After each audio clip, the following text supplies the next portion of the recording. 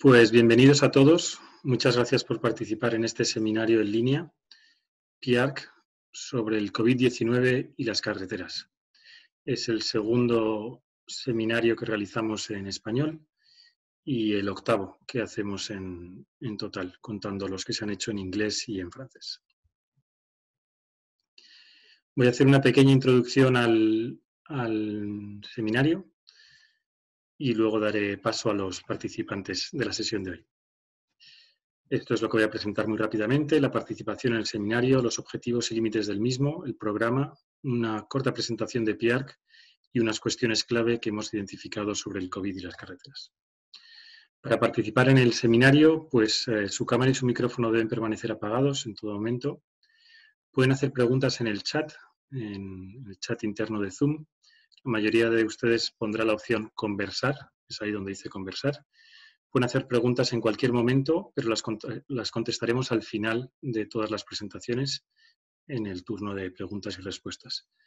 Y ese chat lo va a vigilar Verónica Arias Espejel, consejera técnica de PIARC, y será ella la que modere la sesión de preguntas.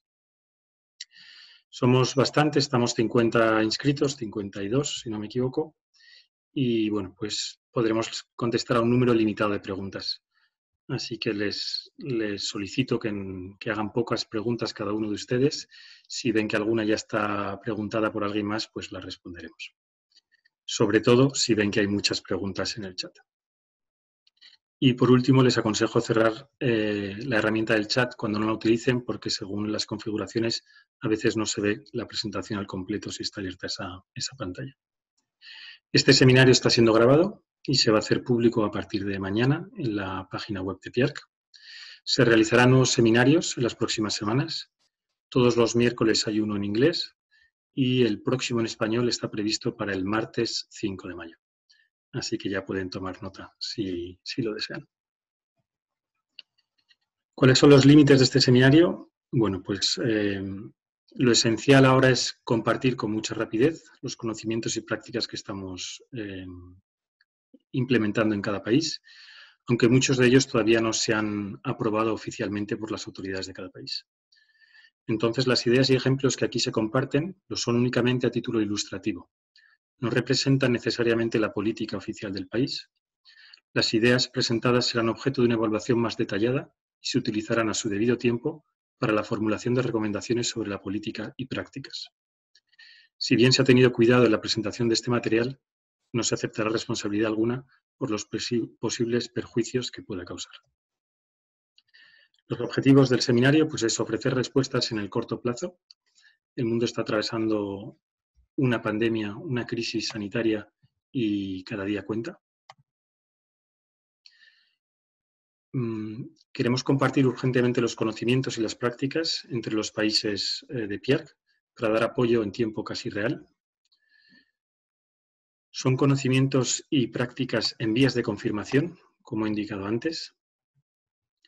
Lo que funciona en un país puede que no esté funcionando en otro, pero sí creemos que le puede inspirar. Una buena idea en estos momentos puede salvar vidas, aumentar la capacidad de la economía y o reducir la interrupción de los servicios. No obstante, y esto es la nota que tenemos abajo, Pierre también está trabajando en el medio y el largo plazo, aunque no es el objeto de este seminario. Y bueno, estamos convencidos, como mucha gente, que muchos de los cambios que estamos sufriendo ahora van a llegar para, para quedarse. No volveremos a una situación como antes de la pandemia. El programa del seminario hoy es bastante completo. Vamos a intentar mantener los tiempos para acabar en las dos horas que tenemos previsto. Y tenemos unos presentadores bastante complementarios unos de otros. Y bueno, algunos de las administraciones de, carreteras, el núcleo duro de PIARC, como es el caso de Andorra. También tenemos perspectivas de, de operadores privados de transporte. Nos lo va a presentar Carlos Santillán de México el enfoque de la Dirección General de Tráfico del Ministerio del Interior, el enfoque de, los, cuerpos de seguridad y cómo gestionar el tráfico. Nos lo van a presentar desde España, Ana Luz Jiménez Ortega. Desde Estados Unidos, desde la Universidad y el TRB, Rafael Díaz nos va a hacer una perspectiva estratégica de cuál es la gestión del impacto en la economía y las cadenas de suministro y la reactivación de la economía tras la crisis sanitaria. Milton, como miembro de un comité nacional, presidente de un comité nacional de la SEIT en Ecuador, nos va a hablar de la situación en Ecuador, la movilidad en tiempo de pandemia. Y José Manuel Blanco Segarra tiene la difícil tarea de resumirnos los siete seminarios anteriores en, apenas diez minutos. Luego entraremos las con las preguntas y respuestas de Verónica, y moderado por Verónica, y conclusiones que nos va a hacer eh, José Manuel. Y luego habrá un cierre y seminario, y bueno, como la otra vez, dado que estamos todos confinados y nos vemos poco, pues abriremos eh, los micrófonos y las cámaras para los que se quieran quedar y charlaremos tranquilamente ya sin, sin la grabadora activada. ¿Qué es PIARC? Tengo dos diapositivas para las personas que no estén eh, familiarizadas con ellos ahora en vivo o los próximos días en, en diferido. PIARC es el nuevo acrónimo el nuevo nombre, perdón, de la Asociación Mundial de la Carretera. Es el antiguo acrónimo y nuevo nombre desde el año pasado de la Asociación Mundial de la Carretera. Fue fundada en 1909 como una asociación sin ánimo de lucro y apolítica. Cuenta con 124 países miembros, además de miembros regionales, colectivos y personales. Y es el primer foro mundial de intercambio de conocimientos, políticas y prácticas sobre las carreteras y el transporte por carretera. Las cuatro misiones clave de PIARC son ofrecer un foro internacional de primer orden para el análisis y el debate, determinar, desarrollar y difundir buenas prácticas y facilitar un mejor acceso a la información internacional, es lo que estamos haciendo hoy con este seminario, tener en cuenta a los países con economías en desarrollo y en transición y diseñar, producir y promover herramientas eficaces para la toma de decisiones. Para alcanzar estos objetivos y desarrollar estas misiones, la asociación moviliza el conocimiento y la experiencia de 1.200 expertos de más de 80 países en los 22 comités técnicos y grupos de estudio. PIARC ha puesto en servicio una página web dedicada a COVID-19 y carreteras. Ahí tienen el enlace, pueden pinchar en él. Van a encontrar las grabaciones de todos los seminarios eh, en línea que hemos hecho hasta ahora, cinco en inglés, uno en español y uno en francés. Este sería el segundo en español. Las presentaciones de dichos seminarios, que están traducidos todas al español, eh, y algunos informes técnicos que están relacionados con la gestión de pandemia, informes anteriores a esta crisis, como es la gestión de información de desastres para administradores de carreteras, eh, la gestión de riesgos en situaciones de emergencia y la seguridad vial, la seguridad, de la infraestructura vial, tanto física como eh, cibernética. Por último, hemos identificado nueve cuestiones claves a desarrollar como el núcleo duro este, de, este, enfoque de COVID-19 y carreteras. El primero es garantizar en lo posible la salud y la seguridad de los empleados y usuarios de las carreteras, mantener la actividad y la continuidad del servicio, dar respuesta a los impactos en el transporte, gestionar impactos en la economía y cadenas de suministros y reactivación de la economía tras la crisis sanitaria, relaciones con relaciones y colaboración con clientes, usuarios y otras partes interesadas, que es lo que incluimos también en el control de fronteras, seguridad, incluyendo la ciberseguridad, qué grado de cumplimiento de las normas por parte del sector de las carreteras, el impacto del, del control del cumplimiento de las normas, sobre todo con controles policiales en el transporte por carreteras, el apoyo de las tecnologías, el ITS, aplicaciones informáticas, a la gestión de las carreteras durante la crisis. Y eso es lo que los ponentes eh, de hoy van a, van a comentar a diferentes escalas. No todos abordarán los nueve temas. Y ahora tengo la, la, triste, tengo que darles la triste noticia de que el sábado pasado Adalía González falleció por, por COVID-19. Adalía ha sido una persona eh, muy entusiasta de la asociación durante mucho tiempo. A pesar de su avanzada edad, ha seguido promoviendo la asociación eh, mundialmente y en Argentina en concreto. Y bueno, queríamos rendirle un pequeño minuto de homenaje.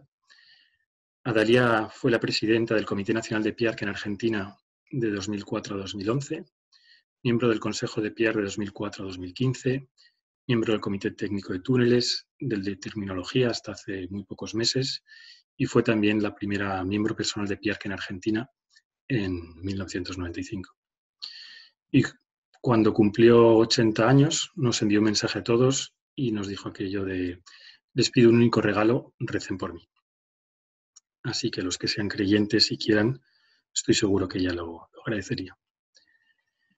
Creo que desgraciadamente en estos momentos todos hemos perdido un allegado o un conocido por esta pandemia, así que si me lo permite les voy a pedir un, un minuto de silencio por Adalía y por todas las personas que hemos perdido con el COVID-19.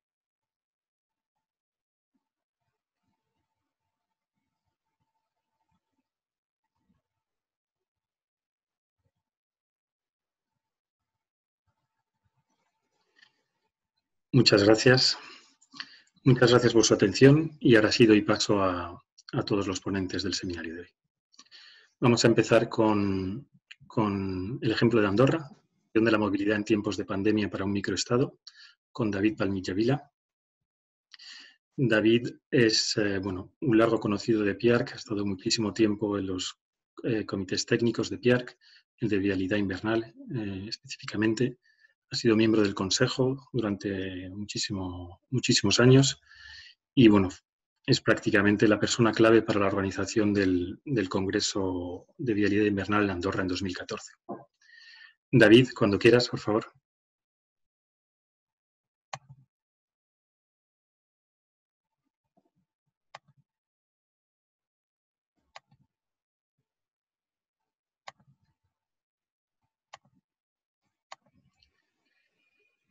David, tu micrófono está apagado. Puedes ponerlo tú, si no lo pondré yo. Ahora lo enciendo, ya está.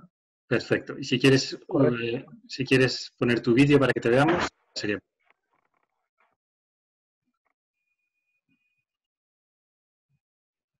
Ahí voy, ¿eh? Muy bien, ya te vemos y te oímos. Cuando quieras, David. Muy bien, perfecto. Pues buenos días a todos. Em, bueno, muchos de vosotros me conocéis, pero básicamente los que no, no me conocéis, eh, ¿por qué hablar de un microestado? Porque no deja de ser una ciudad-país. Eh, si quieres pasamos ya directamente a la siguiente diapositiva.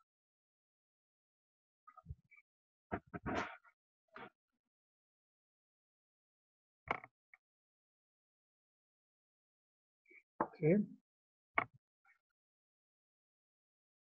Muy bien. Entonces, eh, microestado porque somos una ciudad-país, 80.000 habitantes, 468 kilómetros cuadrados y la anécdota es que tenemos 8 millones de turistas.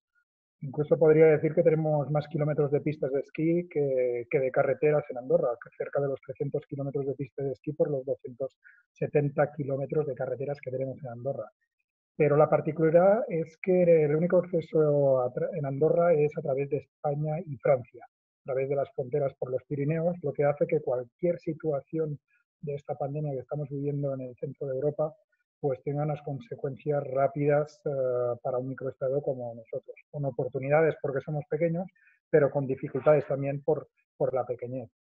Eh, oportunidades en el sentido de que la información la tuvimos enseguida, visto lo que estaba pasando en Francia, España e Italia, y el día 11 de marzo empezamos la creación del Comité Técnico de Seguimiento de la COVID-19, sabiendo que el día siguiente a la creación de este comité hubo la primera detección del primer caso en Andorra, y a partir de ahí pues ya tomamos eh, medidas que se estaban tomando en los otros países y no tuvimos que esperar tanto tiempo en reaccionar. En ese sentido, cerramos todas las actividades escolares y todas las actividades públicas y coincidiendo con el 14 de marzo, que es el, Día Nacional de la Constitución, pues no se pudo celebrar y tuvimos que aplicar las restricciones en todas las actividades.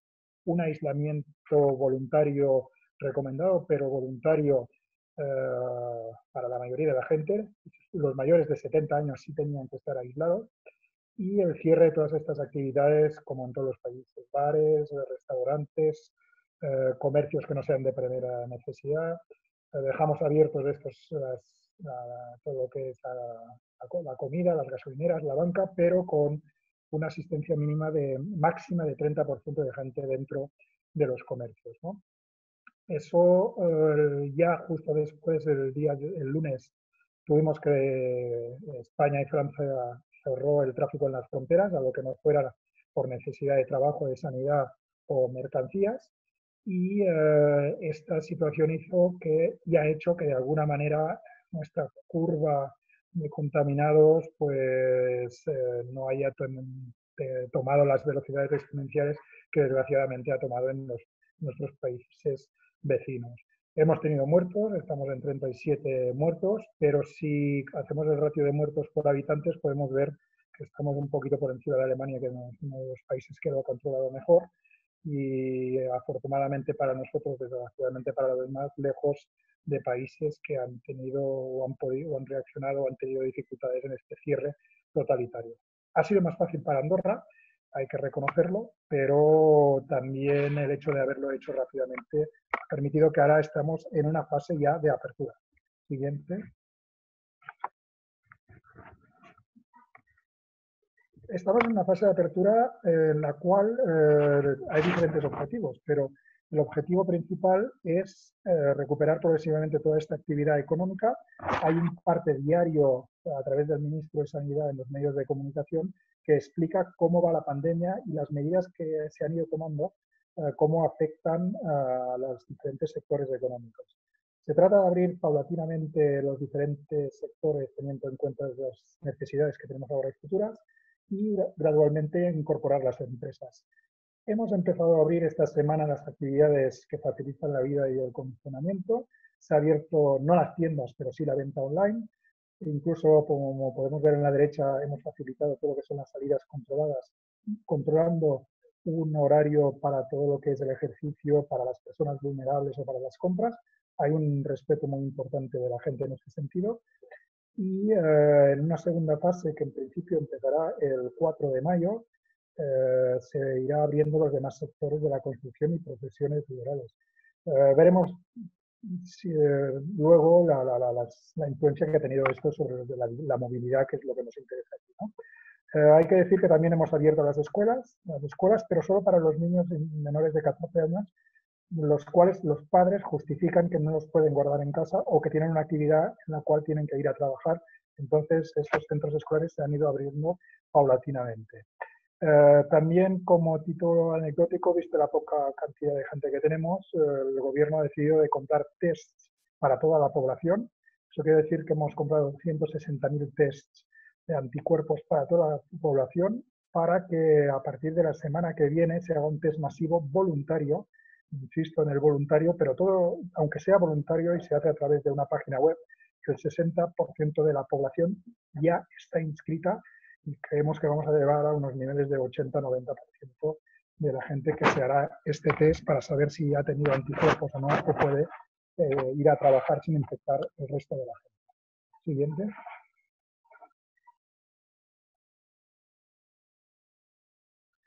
El día 23 de marzo, pues cuando se aplicó la ley de emergencia sanitaria, eh, tenía diferentes medidas y objetivos, pero creo que vale destacar las medidas de materia laboral, en las que, a título anecdótico, pues las empresas pueden hacer eh, ERTOS, se, pueden ajustar todo lo que es eh, los contratos laborales y la reducción de jornada laboral y la compensación del tiempo se puede hacer a través de las horas extras futuras o a través de las, vacaciones de los asalariados hasta un máximo del 50%, siempre llegando a acuerdo entre el asalariado y el, y el, patrón. Eh, hay una prestación mínima para esas actividades que no han tenido que cerrar y esta prestación mínima es para los eh, empresarios puedan tener al menos el, salario mínimo que es de 1.083 euros en Andorra, pues eh, la gente que ha tenido que cerrar puede acceder a esta prestación mínima. En materia fiscal, como en muchos países, pues carencia de las cuotas hipotecarias. El gobierno ha inyectado 130 millones en una primera fase y la semana pasada 100 millones más para que las empresas y los particulares puedan pedir créditos a 0% avalados por el gobierno, siempre que sea justificado en el sentido de que han tenido un corte a nivel de su actividad profesional y se ha sacado a mercado público una deuda de 125 millones de euros que ha sido absorbida inmediatamente por, por la economía andorrana. A nivel de medidas de seguridad social, eh, vale destacar que se ha considerado como un accidente laboral toda la gente que ha tenido que quedarse en casa, que se le ha detectado que ha tenido el COVID-19 o y los familiares directos que han tenido también que quedarse en confinamiento por el COVID-19. Estos ya se les tratará como accidente laboral. Y el gobierno, aparte de pagar el salario, eh, en el resto de empresarios les va a pagar la cuota del 15% que es a cargo del gobierno. Y a nivel de, las, de, los alquileres se ha hecho también un gesto a nivel de los negocios para que la gente que ha tenido que cerrar tengan eh, 100% de, entre el 50 y el 100% si han tenido que cerrar completamente, si han tenido que estar abiertos o si han tenido que estar de guardia. El que está abierto ha, visto su, su, alquiler rebajado del 50%. Siguiente. Siguiente. Las administraciones locales también han tenido un papel importante ayudando al aplazamiento del pago o la suspensión de algunas tasas locales, pequeños gestos como un aparcamiento gratuito. Hay que, hay que recordar que hay 50.000 plazas de aparcamiento aquí en Andorra, todas han sido gratuitas durante estos días. Ayuda a los servicios a domicilio para la gente que no se podía desplazar. Una ayuda, como anécdota, una ayuda al alojamiento para todo, que son trabajadores temporeros. Hay más de 2.000 trabajadores temporeros, muchos viniendo de, de América Latina, Chile, Argentina, que por la situación de su país, en las cuales han cerrado las fronteras, no han tenido oportunidad de regresar y entonces los ayuntamientos están ayudando a buscar alojamiento a esta gente que se les había acabado el contrato y renegociando otra vez para que al menos puedan pasar esta temporada de manera digna en Andorra, aunque no tengan trabajo. Y con lo demás, todo lo que es la desinfección del mobiliario urbano, y un punto importante que hablaremos luego, que es la renegociación de todo lo que son las transferencias con el Estado central. Siguiente. Eh, en el transporte y movilidad hay que recordar que tenemos las fronteras cerradas, si no es por eh, trabajo esencial, por emergencias eh, o por salud y medicamentos de los dos lados. Entonces estamos muy supeditados a lo que está pasando en Francia y, en España. por más rápido que vayamos nosotros en portarnos bien y hacer las cosas bien, siempre dependeremos de que las fronteras se abran. Entonces estamos en contacto con las autoridades de los dos países. Hemos fomentado el teletrabajo, eh, principalmente en la administración, donde abre de forma excepcional por las mañanas y siempre sobre cita previa. Y eh, todo lo que son servicios de conservación eh, y explotación de carreteras los hemos mantenido activos de la misma manera que los servicios de Policía Nacional y, y los servicios esenciales, en los cuales durante la fase inicial solo iban a trabajar un 30% de los efectivos, de tal manera que un 70% estuviera en casa en el caso de que se detectara alguna, un virus que tuviera que confinar a todo el equipo. Paulatinamente hemos ido viendo, esta semana ya dos tercios de, los efectivos están trabajando sobre todo en operaciones de, como es Andorra, pues ha nevado, operaciones de vialidad hibernal o caída de piedras, algún accidente de tráfico, y ahora estamos más trabajando en todo lo que es la limpieza de las carreteras para que todo esté a punto eh, cuando vaya bien. No podemos hacer eh, tareas de fondo. Los contratos de la administración han quedado de momento en stand-by, no se saca de concursos a licitación, pero la idea es de tratar de, continuar activando la economía y lo eh, el transporte público también ha visto reducido su capacidad en un 30%, no se deja entrar más gente de la necesaria en los autobuses y se ha hecho un uso muy grande de los ITS de redes sociales de tal forma que, aparte de los mensajes que se van dando, hay un control importante por la Policía Nacional y local. Incluso hemos tenido que a veces utilizar drones en la montaña porque mucha gente no respetaba las consignas y se iban a hacer picos o esquiar y eso dificultaba, igual podía dificultar las tareas de rescate y llenar innecesariamente el hospital, que vale la pena decir que en Andorra nunca hemos llegado al límite, aunque siempre ha habido esa precaución de no llenarlo de, de cosas que no estuvieran relacionadas con el, con el COVID-19. Siguiente.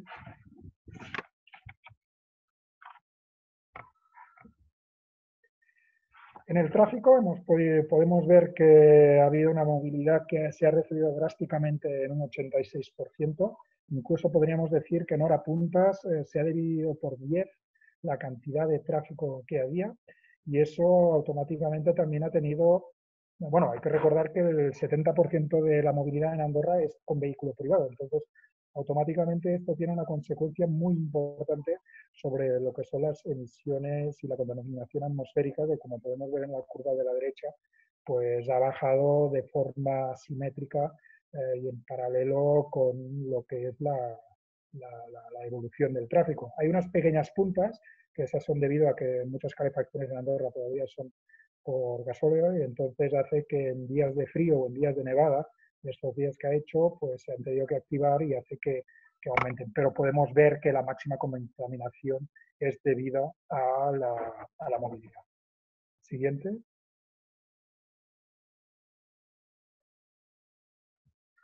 Eh, Andorra no hace parte de la Unión Europea, ni de momento estamos en ello, pero no tiene acuerdos con el Fondo Monetario Internacional, entonces quiere decir que toda la financiación de, estas medidas se van a tener que tener en cuenta en los presupuestos del Estado y las administraciones locales. Ya se han abierto una ronda de conversaciones eh, con las administraciones locales y eh, las cuales han entendido e incluso han participado a disminuir su presupuesto de funcionamiento y sobre todo de inversión para que haya una ayuda y una corresponsabilidad entre las administraciones para salir de esta crisis. Eh, estamos hablando entre 400 y 500 millones de euros, es lo que calculamos que costará esta crisis para el gobierno de Andorra, lo que equivaldría al presupuesto de un año.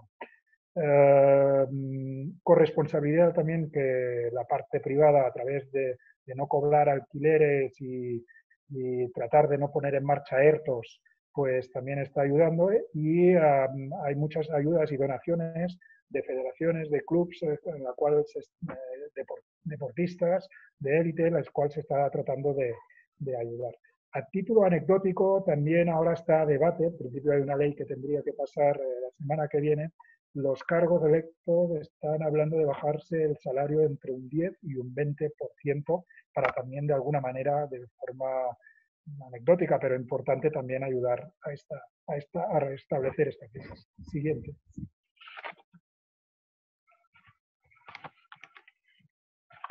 Sí, crisis que, como podemos ver en algunos estudios, no es simplemente una, una crisis de salud, también es una crisis económica. Los expertos nos están diciendo que no será como la recesión del 2008, en la cual fue muy larga. Aquí el, el producto, la, las empresas productivas no han estado tocadas en el sentido de, que se puede realzar otra vez la economía, pero esto será lento. Estamos hablando de uno o dos trimestres y en la curva de la derecha estamos viendo de que no volveremos hasta una cierta normalidad hasta principios del año que viene. Entonces, eh, allí insistimos mucho, eh, al menos en Andorra, de que, eh, no, estamos saliendo de la crisis eh, de forma rápida y esto durará aún hasta aquí a final de año. Siguiente.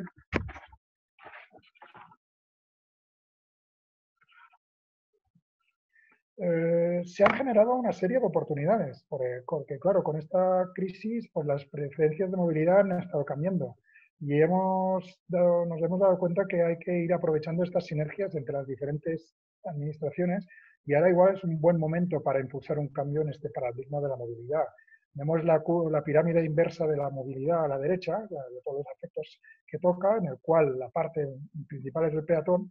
Y entonces la idea, ahora que se está planteando el gobierno a través de una mesa que tenemos ya activa de Mesa Nacional de Movilidad, en la cual hay los diferentes ministros que, que actúan en temas de movilidad, los alcaldes de, de, todas las ciudades, diferentes expertos, pues están tratando de poner en marcha diferentes objetivos para otra vez eh, a ver si podemos eh, convertir al peatón ya en el protagonista de la ciudad eh, para mejorar la calidad de vida, pero también para mejorar esta sostenibilidad medioambiental que siempre estamos hablando, consolidando y favoreciendo la expansión de la bicicleta y los vehículos de movilidad personal, potenciando el uso del transporte público, Hemos visto que también eh, podemos optimizar el reparto de las mercancías, así con las mejoras de conectividad y el teletrabajo y la, comunicación que nos da a nivel de distancia, y al mismo tiempo también racionalizar el uso del vehículo privado, mejorando así la seguridad vial.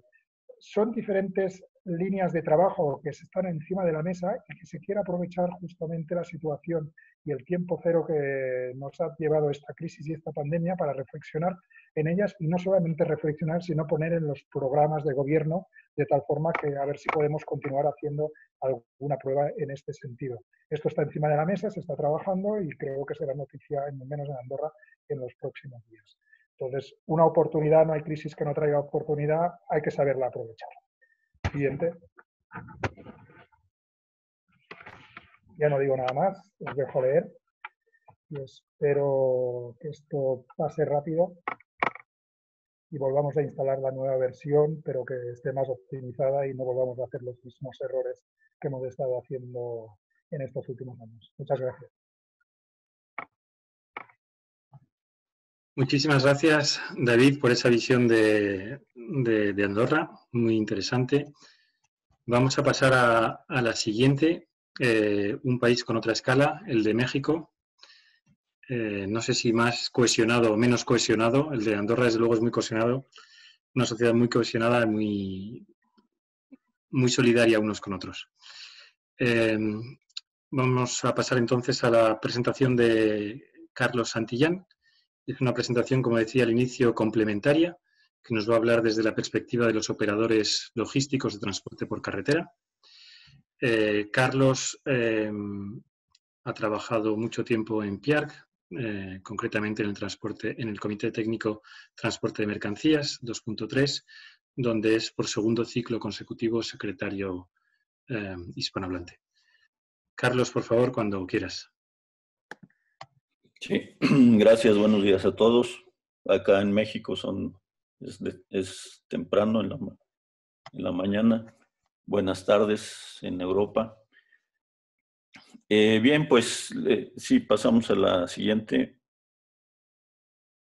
La, el propósito de la, de la presentación va a ser eh, pues casi un relato porque es muy reciente todo lo que está pasando y, no, no podría yo presentar nada definitivo, pero pues vamos a, voy a, voy a hablar de cómo, cómo es que estamos eh, transitando esta emergencia o esta pandemia.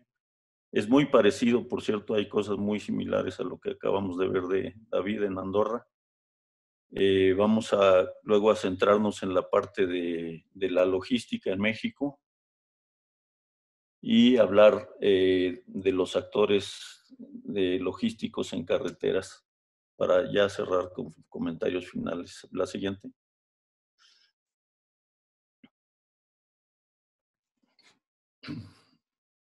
Entonces, eh, como dije, voy a compartir lo que observo en México eh, desde mi práctica profesional. nosotros tenemos una empresa que opera infraestructura o ofrece servicios relacionados con la operación de infraestructura y eh, particularmente este, administramos o supervisamos eh, algunas autopistas y en el lado ferroviario también eh, operamos una terminal ferroviaria y, y, asimismo también unos talleres de reparación de, de equipo intermodal. Entonces estamos ubicados en en Ciudad de México, en Toluca, en San Luis Potosí, en Celaya, en Monterrey y en Saltillo. Y esto va a ser relevante ahorita, me explico por qué. Eh, reconozco también que cada quien tiene su contexto en el país, esto ya lo explicó Miguel. Entonces aquí nada más voy a describir lo que yo estoy viendo. Eh, Voy a, eh, más que entrarle al detalle, eh, voy a citar muchas fuentes para que ustedes luego puedan recurrir a esta presentación. Eh, la presentación incluye muchas ligas y pueden acceder a estas ligas e ir a las fuentes directas de las instituciones en México que están proveyendo de información. Eh, y sin embargo, quedo yo a su disposición para eh, abundar después, ahí está mi correo electrónico, o para contactarlos en México con cualquier otra persona que, con la que quieran contactar para profundizar en cualquier tema que hayan eh, detectado. Por último, ya, ya lo dije, me concentraré en, relatar lo que estamos viviendo. Ahorita estamos saliendo de fase 2 y, ya estamos en fase 3. Hace un par de días se, se declaró. Y, este, y procuraré hablar de antes, durante y después de la, de la contingencia, cómo nos fuimos preparando. La siguiente.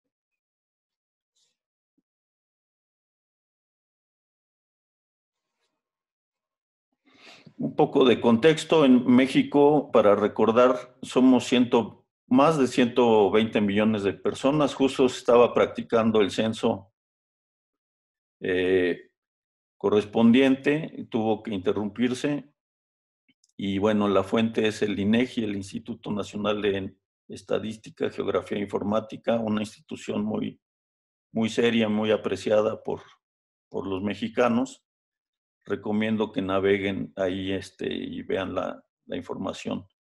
Eh, pertenecemos también como país al grupo de los 20 países más industrializados del mundo.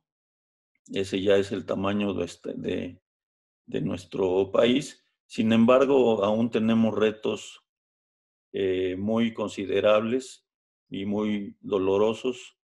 Tenemos una gran desigualdad social prácticamente la mitad de la población o más de la mitad eh, está vive en condiciones de pobreza y sin embargo tenemos ricos que aparecen en la lista de Forbes. Eh, asimismo, eh, padecemos una situación de violencia e inseguridad que, bueno, pues, estamos trabajando para, para resolver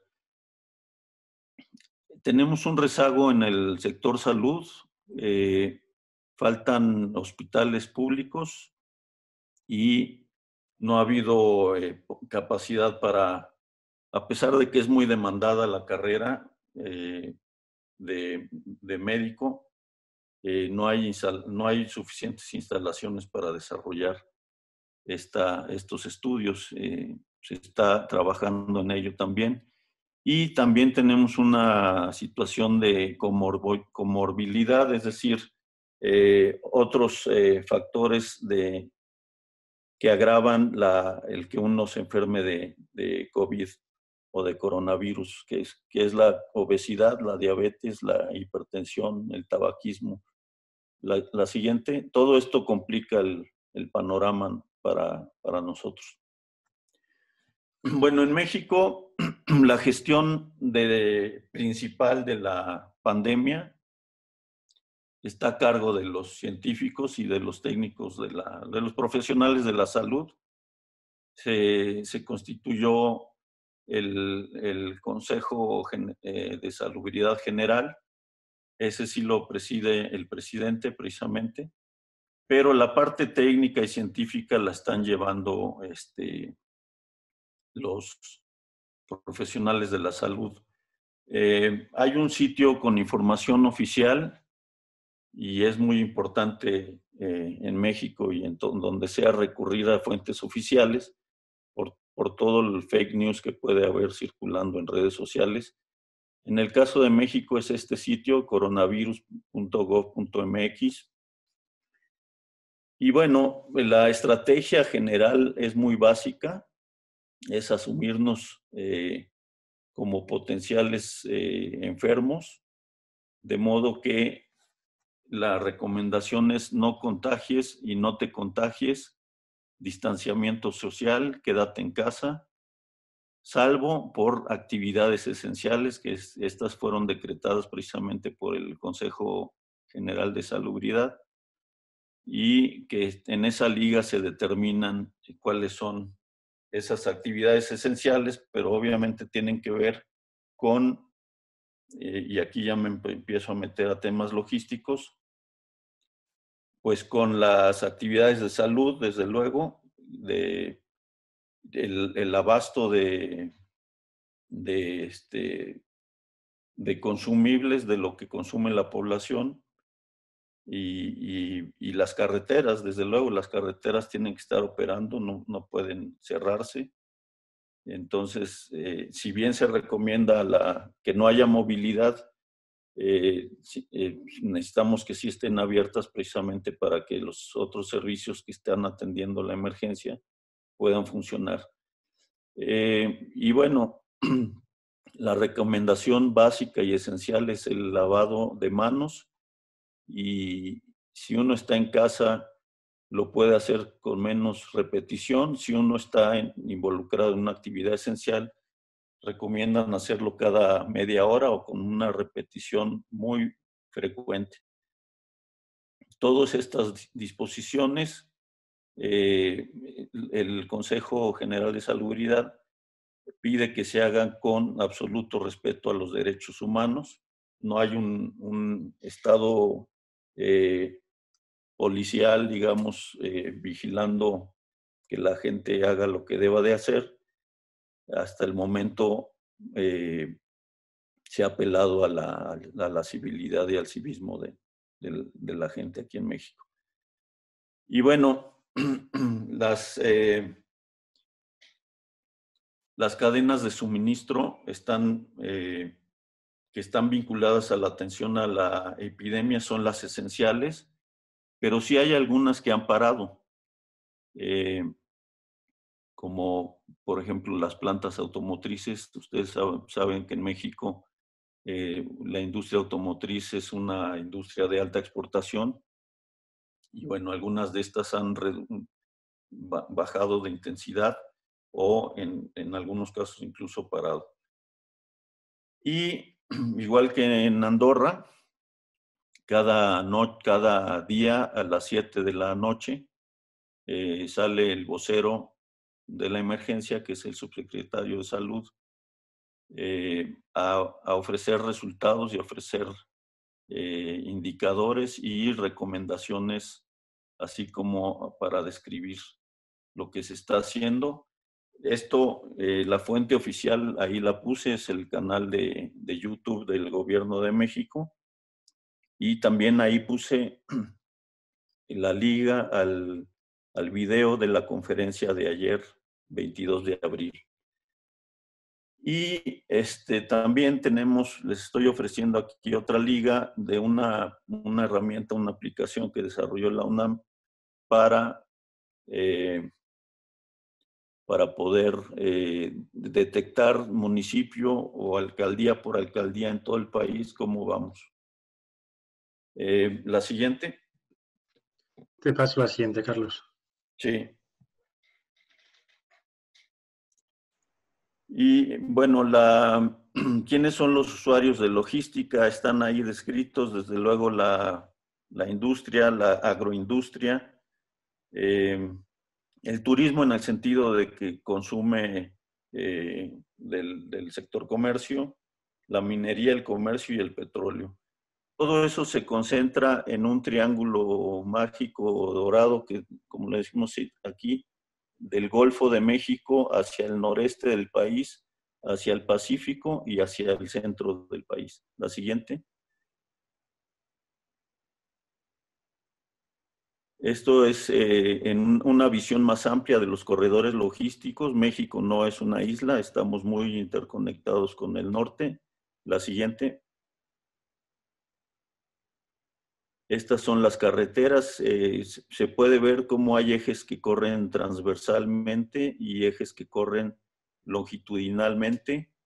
Eh, esto ayuda mucho a darle mucha flexibilidad al, transporte por carretera, que es el principal eh, modo de transporte para la logística en México.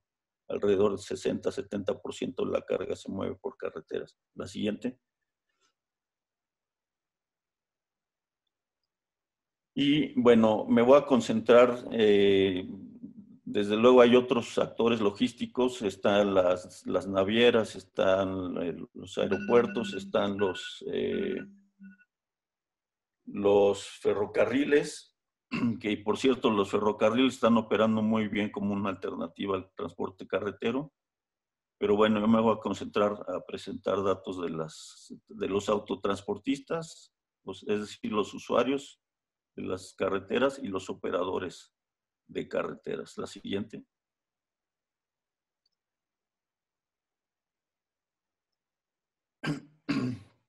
Bueno, aquí tenemos eh, que el principal reto para para México y para garantizar continuidad en la, en la funcionamiento del país es cuidar de la gente. No, no, es tanto un tema de, otra, de otro tipo de recurso o de otra naturaleza.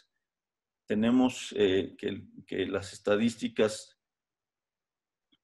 estiman que 70 a 80% de las personas se enfermarán y de esto, de estos, un 75% eh, podrá hacerlo en casa, el resto tendrá que ir a hospital. Y, eh, y bueno, pues el, el, el 7% de los que enfermen pueden morir, eh, dado que tenemos una condición de comorbilidad importante. ¿Eso qué significa ya a la hora de operar? Por ejemplo, una carretera.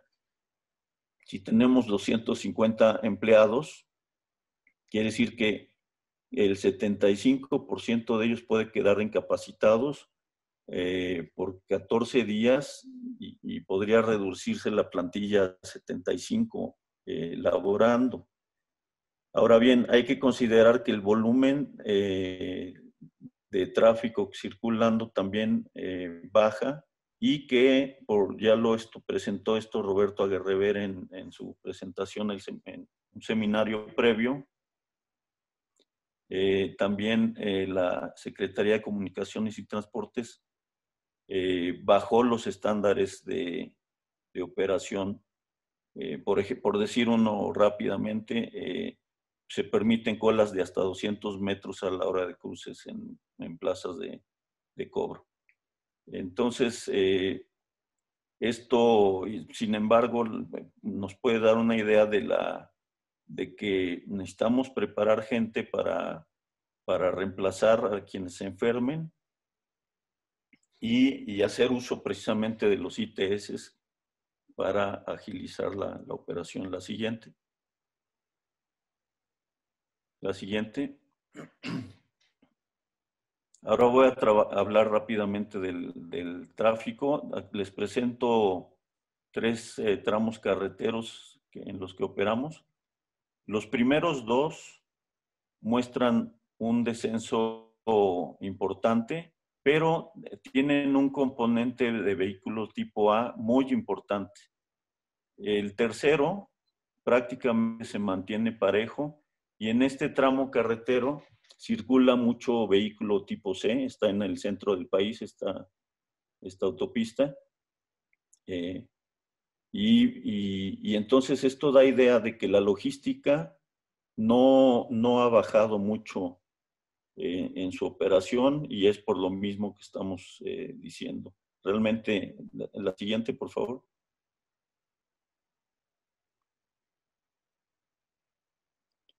Eh, realmente, como decía yo, la, una industria que ha parado y que, que, activa mucho la logística en México es la industria automotriz y esta está operando a medio gas.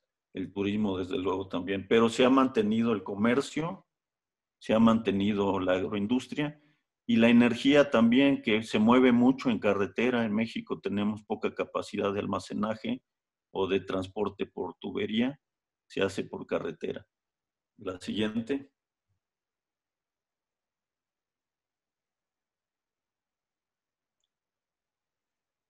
Entonces, eh, ya para terminar, estamos, eh, hemos estado preocupados en el medio logístico de que eh, haya un desbalance a la hora de que todo se regularice y se congestionen las infraestructuras cuando se vuelva a abrir la llave, por así decirlo, y regresen los flujos eh, con los volúmenes habituales, se congestione todo. Eh, y, esto puede ser, pues lo que estamos viviendo no es un sismo que tumba un puente o tumba un edificio, la, infraestructura está quedando disponible. Eh, entonces, pero, eh, como ya dije yo, pues lo, no, no, no, es precisamente que haya bajado mucho la, logística y los volúmenes eh, no, no, no, han bajado del todo. Eh, la siguiente.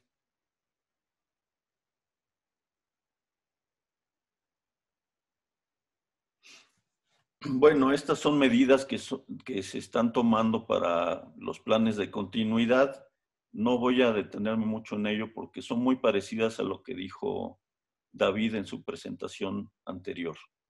La que sigue. Y ya para terminar, eh, un collage de imágenes en las autopistas en las que estamos. Por un lado, algunos transportistas, sobre todo de pasaje, se quejan de falta de apoyo y de que han quedado con poco trabajo. Por otro lado, las, en, el, en, el, lado de la carga, el transporte de carga, los mismos empresarios eh, y líneas de, autotransporte están ofreciendo lugares eh, de, de, escala, digamos, para brindar comida y, y, este, y agua y en condiciones higiénicas para... Tenemos un problema de falta de paradores seguros que, que se está trabajando, pero que hay un déficit, diría yo. Y entonces, pues esta ha sido una iniciativa de los propios este, empresas de autotransporte. Con eso termino, discúlpenme, pasé un poco de tiempo. Eh, los espero al final con preguntas. Gracias. Muchísimas gracias, Carlos. Y como comentamos al inicio, Carlos tiene una labor importante en el transporte de carga y ahí deja algunas recomendaciones si lo quieren seguir. Muy interesante la presentación.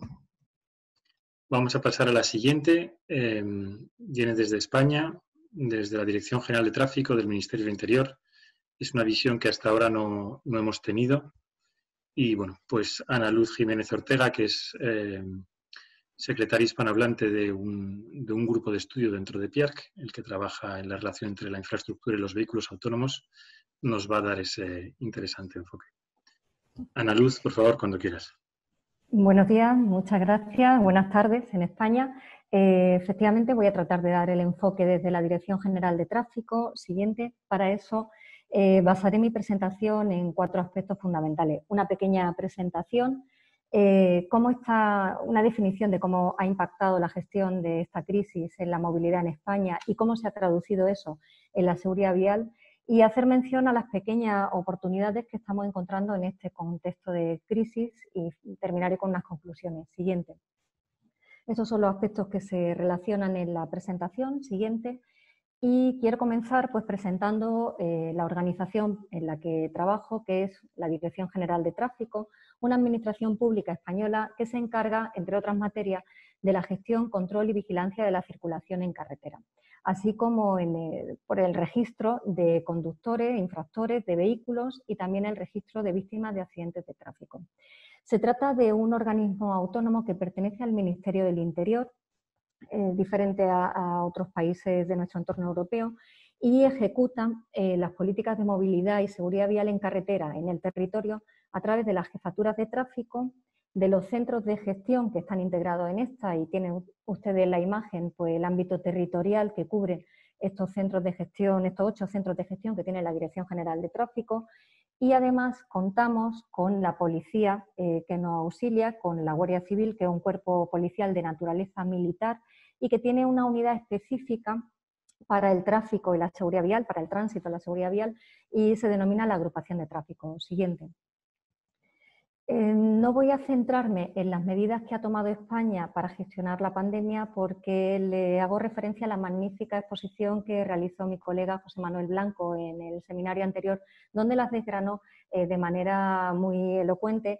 Eh, lo que sí quiero traer, y siguiente por favor, es la cantidad de modificaciones y adaptaciones normativas que esta crisis, que esta nueva circunstancia ha tenido en nuestro marco normativo en vigor. Siguiente. Lo que sí eh, quiero poner de manifiesto es que ha habido que regular el tipo de, desplazamientos que se pueden realizar. Eh, cuáles son las actividades esenciales que están permitidas y las que no. Cómo se realizan estos desplazamientos en cuanto a número de ocupantes de vehículos y a su ubicación dentro de los propios vehículos, tanto para el transporte público, el particular, como el transporte profesional. Eh, se han regulado también los tiempos de conducción y de descanso, la validez de las autorizaciones administrativas para conducir, las inspecciones técnicas, se ha realizado, como digo, un importante esfuerzo de adaptación de esta normativa a la nueva realidad, pero siempre desde una perspectiva en la que se garanticen los desplazamientos esenciales, que se proteja el transporte de mercancías para garantizar el abastecimiento y preservar al máximo la actividad económica eh, en la que también, que sostiene, y con el principio básico de respetar la salud y la protección de las personas.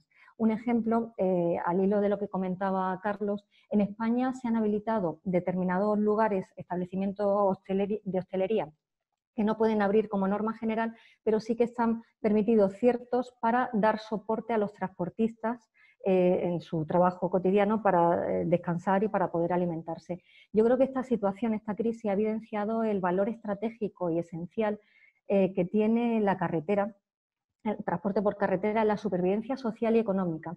Y esto conlleva una obligación, una necesidad ineludible de proteger las carreteras y su gestión para garantizar la movilidad y con ello nuestro desarrollo. Siguiente. Mm, ¿Cómo lo afrontamos desde la Dirección General de Tráfico? Pues en primer lugar hemos identificado dentro de nuestra organización los elementos críticos y estos han sido esos ocho centros de gestión que le he indicado al principio de la presentación que están catalogadas como infraestructuras críticas del Estado. Esto quiere decir que hay que adaptar su operativa de trabajo a las recomendaciones sanitarias, pero para garantizar, por un lado, la seguridad de los empleados y por otro el mantenimiento de la funcionalidad en las 24 horas del día, todos los días del año. ¿Qué hemos hecho? Pues, por ejemplo, hemos formado equipos de trabajo eh, que no son coincidentes, eh, de manera que eh, se minimice el riesgo. obviamente, la utilización de elementos de protección individual, se han establecido rutinas para garantizar la continuidad del servicio y en un ejemplo que les pongo del centro de Sevilla, el turno de trabajo saliente sale por una puerta y el turno de trabajo que entra entra por otra distinta, de manera que no hay coexistencia y se minimizan pues, las posibilidades de riesgo. Siguiente, por favor. ¿Para qué queremos que estos centros de gestión estén trabajando eh, las 24 horas? Pues porque nos tienen que monitorizar de manera continuada cómo está la red de transporte, cómo está la red de carreteras y para eso utilizan los elementos ITS a su disposición. El punto de acceso nacional en España es la Dirección General de Tráfico y estos centros eh, alimentan esa información sobre la circulación y la seguridad vial de manera que podemos establecer, podemos diseñar y, y obtener cuadros de mando dinámicos para adaptar nuestra estrategia a la diferente evolución de la, situación. Pero estos cuadros de mando no son solo para consumo interno, sino que se distribuyen a todos aquellos que pueden necesitar estos datos de, movilidad o de, intensidad para la mejora de la toma de decisiones. Siguiente. Les traigo aquí un ejemplo de cómo ha cambiado la movilidad en nuestro país eh, desde que se decretó eh, el estado de alarma. El ejemplo es del domingo pasado. Eh, se ha producido el domingo una reducción de un 94% del tráfico interurbano de vehículos ligeros, más de un 50% en el tráfico de pesados. La disminución en cuanto a la reducción del acceso a las ciudades o en el interior de las ciudades eh, ronda casi el 90% y el tráfico transfronterizo ha disminuido con Portugal y con, Francia en más de un 90%. No olvidemos que España es un país de 47 millones de habitantes y hay un cumplimiento, le diría que, vamos, prácticamente generalizado de todas las recomendaciones eh, y limitaciones a la movilidad. siguiente, por favor. También esta información que monitorizamos de cómo se encuentra la movilidad la completamos con otra información proveniente de otras fuentes como son los teléfonos móviles que nos pueden dar eh, otra caracterización en aquellos lugares donde no tenemos equipos disponibles. Siguiente. ¿Y cómo estamos consiguiendo ese cumplimiento de, las limitaciones que se han establecido para la movilidad? pues se han desarrollado, se desarrollan distintos controles eh, de manera coordinada entre las diferentes fuerzas y cuerpos de seguridad del Estado, tanto en zona urbana, dentro de las ciudades, como en las carreteras y en todos los horarios, durante la mañana, la tarde y la noche. Estos controles se han establecido con el apoyo de medidas especiales de regulación y adecuada señalización, de manera que se garantice la seguridad de los agentes que tienen que realizar estos controles y también la seguridad de, quienes, de los vehículos y de los usuarios que van a ser controlados el conocimiento, el tratamiento de los datos que tenemos disponibles nos ha permitido además identificar los puntos especialmente sensibles que han requerido eh, establecimiento de puntos de control de 24 horas durante todos los días de la semana de manera continuada.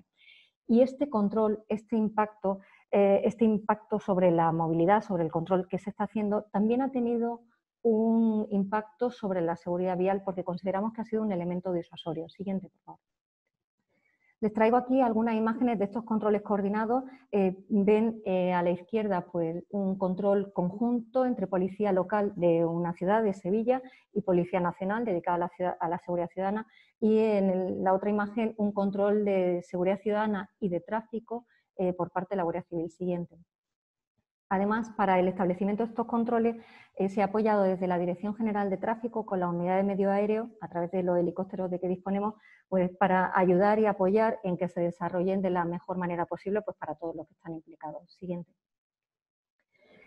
Una cosa muy importante que consideramos que eh, tiene un, valor esencial es la información hacia los ciudadanos de por qué se están haciendo esos controles, de qué se están haciendo y que mm, creo que es un elemento disuasorio importante para que nadie eh, que no tenga que hacer un desplazamiento esencial pues tenga la tentación de hacerlo y se hace pues, a través de, mm, Twitter generalmente, pero todo lo implicado y creo que con eso se ha conseguido una concienciación que no ha dado el resultado de la disminución de la movilidad que, que le he presentado con anterioridad. Siguiente.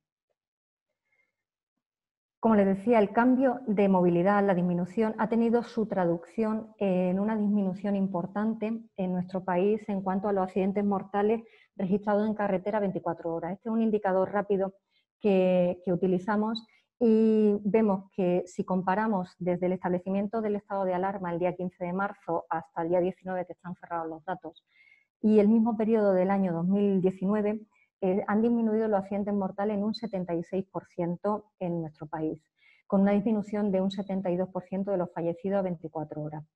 Los datos de las ciudades nos los comunican con un cierto retraso y por lo tanto se integrarán a esta información una vez que estén consolidados, pero nos dice que efectivamente hay un cambio drástico de un 76%, acompañando obviamente a la disminución de movilidad. Siguiente. En la siguiente transparencia y en la siguiente, por favor, eh, vemos que la distribución pues, ha cambiado algo. No observamos que haya demasiada cambio en la distribución, por ejemplo, en cuanto a modo de transporte o en cuanto al tipo de vía, pero pueden consultarlo con más detalle en la presentación que estará mañana en la plataforma. Siguiente, por favor. Sí que nos hemos detenido en saber si ha cambiado el comportamiento de los usuarios de las carreteras con respecto, por ejemplo, al factor velocidad. Así hemos cogido una muestra aleatoria de 15.000 vehículos mm, que circulaban por nuestras carreteras en febrero y hemos comparado eh, la distribución eh, con otros 15.000 vehículos que han circulado durante el estado de alarma y durante las dos fases que hemos tenido de solo servicios esenciales o, circulando o eh, se permite una cierta actividad en la actualidad. Entonces vemos que el protagonismo de los vehículos pesados, especialmente los camiones, ha crecido algo en el porcentaje total, en la representación, eh, con respecto a ese posible incumplimiento. Siguiente, por favor. Hemos querido centrar en si efectivamente había un incremento generalizado en cuanto a la velocidad media de circulación y estamos monitorizando distintos puntos. Les traigo aquí el ejemplo de eh, una autopista que se encuentra en el sur de España, que conecta Sevilla con Cádiz, y comparando la velocidad media de circulación de una semana de febrero con una semana de abril en periodo de, estado de alarma, vemos que se ha producido una disminución de la velocidad media de circulación eh, de manera pues, mm, relativamente eh, representativa y lo achacamos obviamente a que hay un mayor número de vehículos pesados que están circulando, por lo tanto su velocidad, la velocidad media del conjunto es menor. Si nos centramos solamente en los vehículos ligeros, para ver si efectivamente hay mucha diferencia de velocidad entre ellos y los vehículos pesados y se puede producir una situación de riesgo, estamos viendo que, bueno, se ha detectado en una muestra reducida que hemos analizado que el incremento de velocidad media de esa muestra era algo superior al 1,5, en torno al 1,8%, con lo cual, bueno, pues todavía en, entendemos que está dentro de un entorno más o menos acotado y, bueno, que seguimos monitorizando, pero que está más o menos acotado. Siguiente, por favor. Sí que eh, somos conscientes que es fundamental para la gestión de, este periodo de crisis y para el posterior eh, el apoyo de las tecnologías que tenemos. el desarrollo de las políticas tiene que ser absolutamente coordinado con todos los elementos y todos los actores que están involucrados. Los equipos ITS nos permiten, eh, son herramienta fundamental para esa captación de información y posterior difusión, como el ejemplo que vemos en un panel de mensaje variable, y el tratamiento de los datos también se convierte en un elemento fundamental para poder conseguir eh, sacar todo el partido a la información de que disponemos. Siguiente. Mm, en este caso, y entro ya en la, última fase de la, presentación, eh, como bien decía David, toda crisis eh, nos presenta una oportunidad. Y hemos detectado ciertas oportunidades que, bueno, que paso a, a explicarles.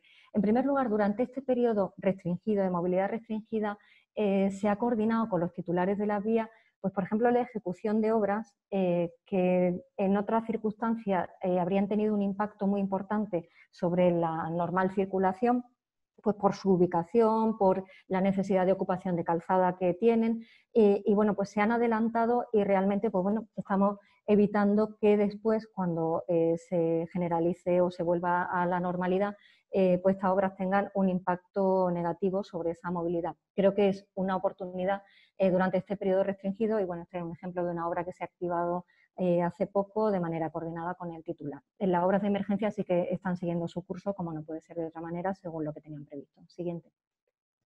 Una anterior, por favor. un, elemento que estamos convencidos que va a ser una oportunidad eh, durante esta crisis es que se ha tenido que implantar el teletrabajo en lugares donde a lo mejor todavía no estaban, eh, no se lo habían planteado de una manera, de una manera por completo o no estaba suficientemente maduro. La, realidad no ha obligado a, esa implantación y creemos que se va a consolidar al evidenciarse que es una alternativa viable en muchos puestos de trabajo. Y esto va a implicar un cambio sustancial en los modelos de movilidad tradicional. Los desplazamientos por movilidad obligada con este teletrabajo eh, se van a flexibilizar en cuanto a los horarios. Eso va a implicar que los periodos puntas, los picos de entrada o de salida del trabajo se van a suavizar. También estamos convencidos de que se va a producir una posible una reducción en el volumen total de los desplazamientos por movilidad obligada y que también se van a diversificar los modos de transporte. En el entorno urbano especialmente, los vehículos de movilidad personal, las bicicletas y, obviamente ir caminando, eh, van a convertirse en protagonistas porque nos, mantienen, nos permiten mantener la distancia social. Y ese cambio va a permitir aumentar la eficiencia del sistema de transporte. Bueno, pues ya estamos animando, como ven ustedes en la imagen, a los usuarios a que efectivamente ahora y después pues sea una opción sostenible de transporte. Siguiente. El otro elemento eh, disruptor que hemos identificado en esta crisis es eh, la necesidad de la transformación digital. Mm, sabemos, estamos viendo que quien se encuentra más avanzado en la evolución desde el mundo analógico al mundo digital, ahora mismo se encuentra en condiciones más competitivas en todos los sectores, podemos verlo en el comercio, en la formación, en los servicios. Y las administraciones públicas no somos ajenas a esta realidad. Nosotros, en la Dirección General de Tráfico, hemos acelerado esta transformación digital por ejemplo, eh, desarrollando una aplicación que permite llevar el permiso de conducir en el teléfono móvil, así como la documentación de los vehículos y relacionarse de manera telemática con nosotros a través de esta aplicación. Siguiente.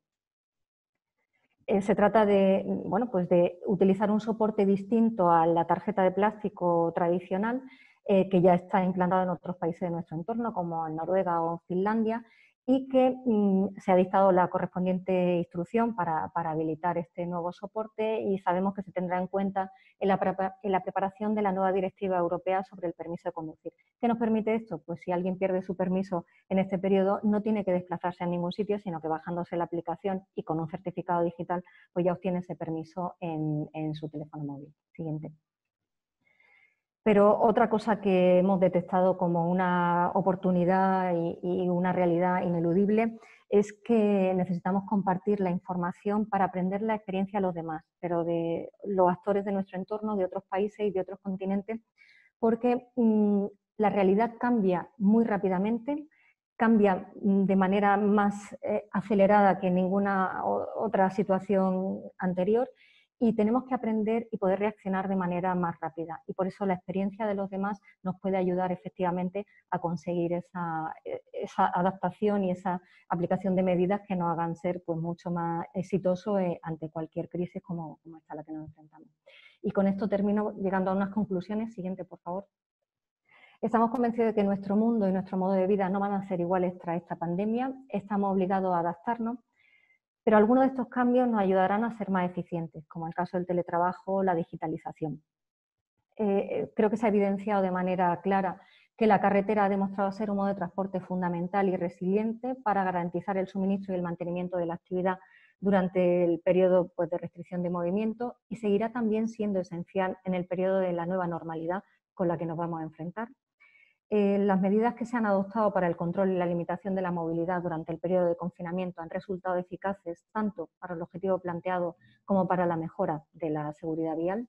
Y el tratamiento de los datos y la recogida de información resultan fundamentales para la gestión eh, eficaz en periodo de crisis, pero también en la toma de decisiones de las medidas de desescalada y con posterioridad. Con esto siguiente, pues muchas gracias por su atención. Muchísimas gracias, Ana Luz. Una excelente presentación, eh, muchísimos datos que nos has dejado eh, y muchas gracias también por intentarlo hacer tan rápido. Yo sé que intentar eh, hacer las presentaciones en 10 minutos es muy complicado. cualquier pregunta para Ana Luz, por, por, favor, ponerlas ahí en el chat. Ya he visto que han llegado algunas para los ponentes anteriores. Y bueno, haremos luego el resumen, Ana Luz, pero me quedo con muchísimas cosas. Por supuesto, ese llamamiento a la importancia que está teniendo la carretera y el transporte por carretera en esta crisis y la necesidad de cuidar la, infraestructura de carretera y sus operaciones. La comunicación con la ciudadanía, yo también coincido en que es ejemplar.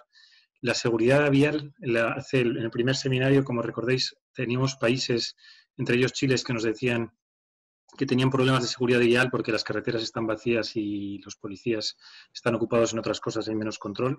Y nos han pasado datos, efectivamente, los que, bueno, pues la siniestralidad ha aumentado en, desde que estamos en COVID. Me alegro de que en España no haya sido el caso. Entiendo que lo hace sobre todo, vamos, que lo que comentas es sobre todo una reducción del tráfico. Y bueno, muchísimas gracias también por las pistas del día después de, este, de esta pandemia, que es lo que también todos nos estamos planteando. Muchas gracias, Ana Luz. Vamos a pasar a la siguiente presentación. Eh, viene desde Estados Unidos, desde, desde, el, desde el TRB, el Transport Research Board. Nos la va a hacer eh, Rafael Díaz. Eh, Rafael, por favor, cuando quieras.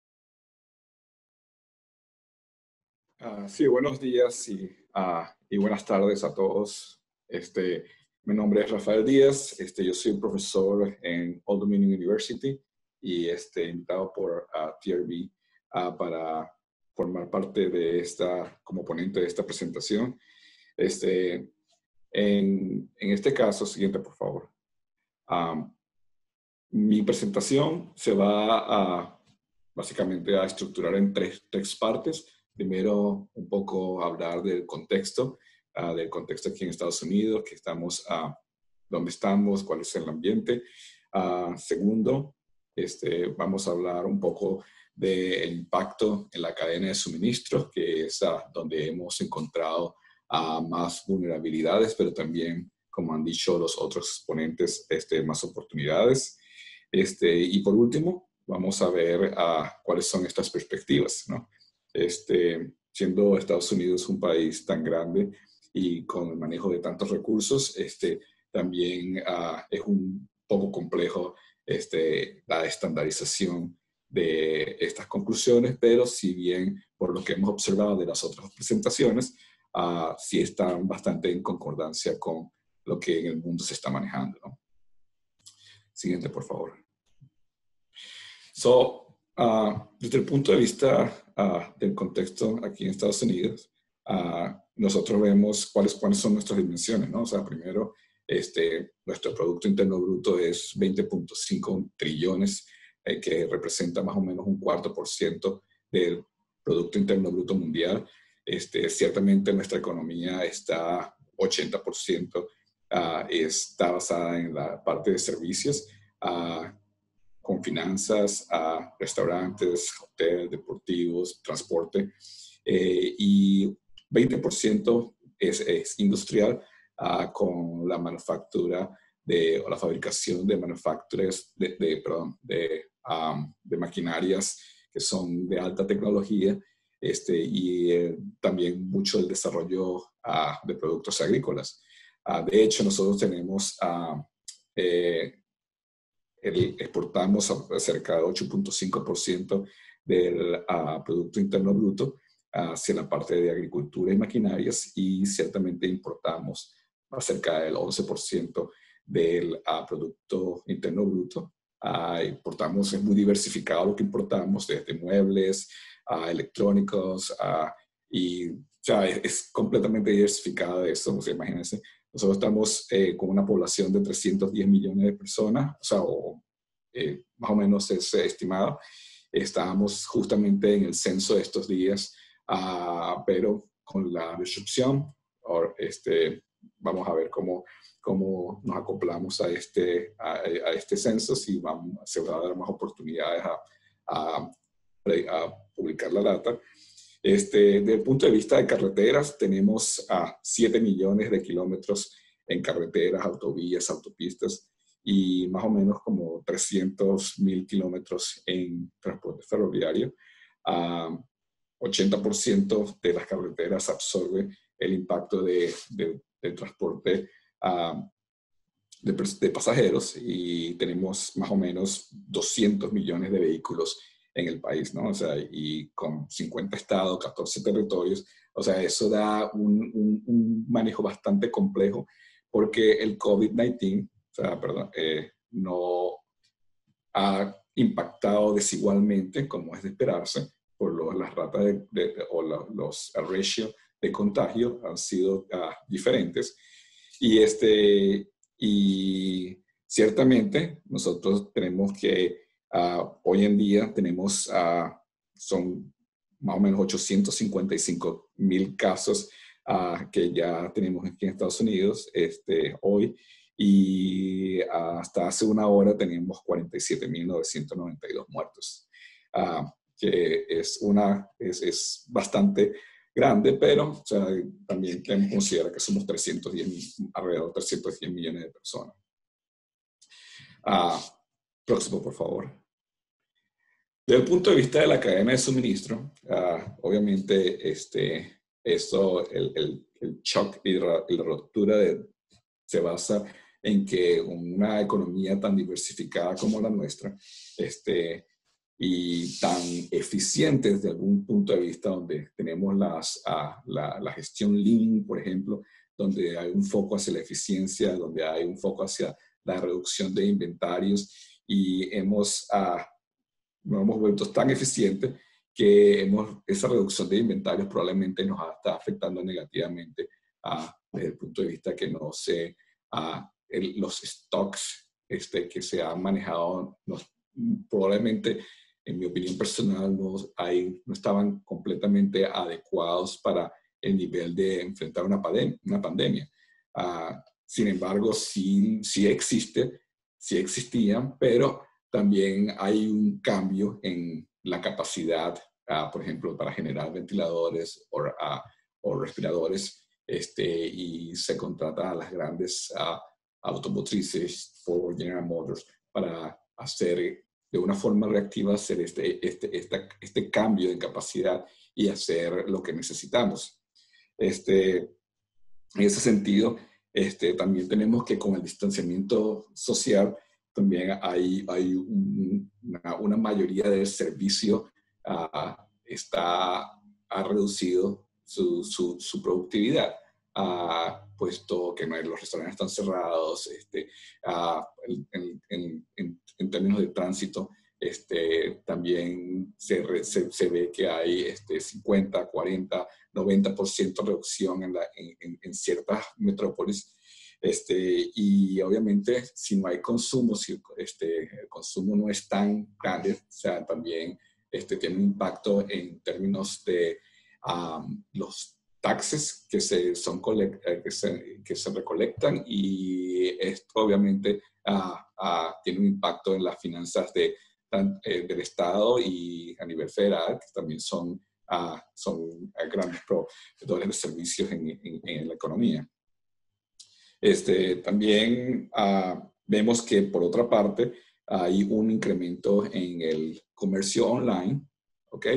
Y en este comercio online este, vemos también que los operadores uh, que son de la última milla están, hay mucho movimiento y de hecho, o sea, por lo menos Amazon y Walmart este, han, se están, están, están contratando hasta 150 mil empleados cada uno para poder hacer frente a la demanda que, este, que, que tenemos hoy en día porque obviamente el, el, el comercio se ha cambiado al online debido a estas restricciones.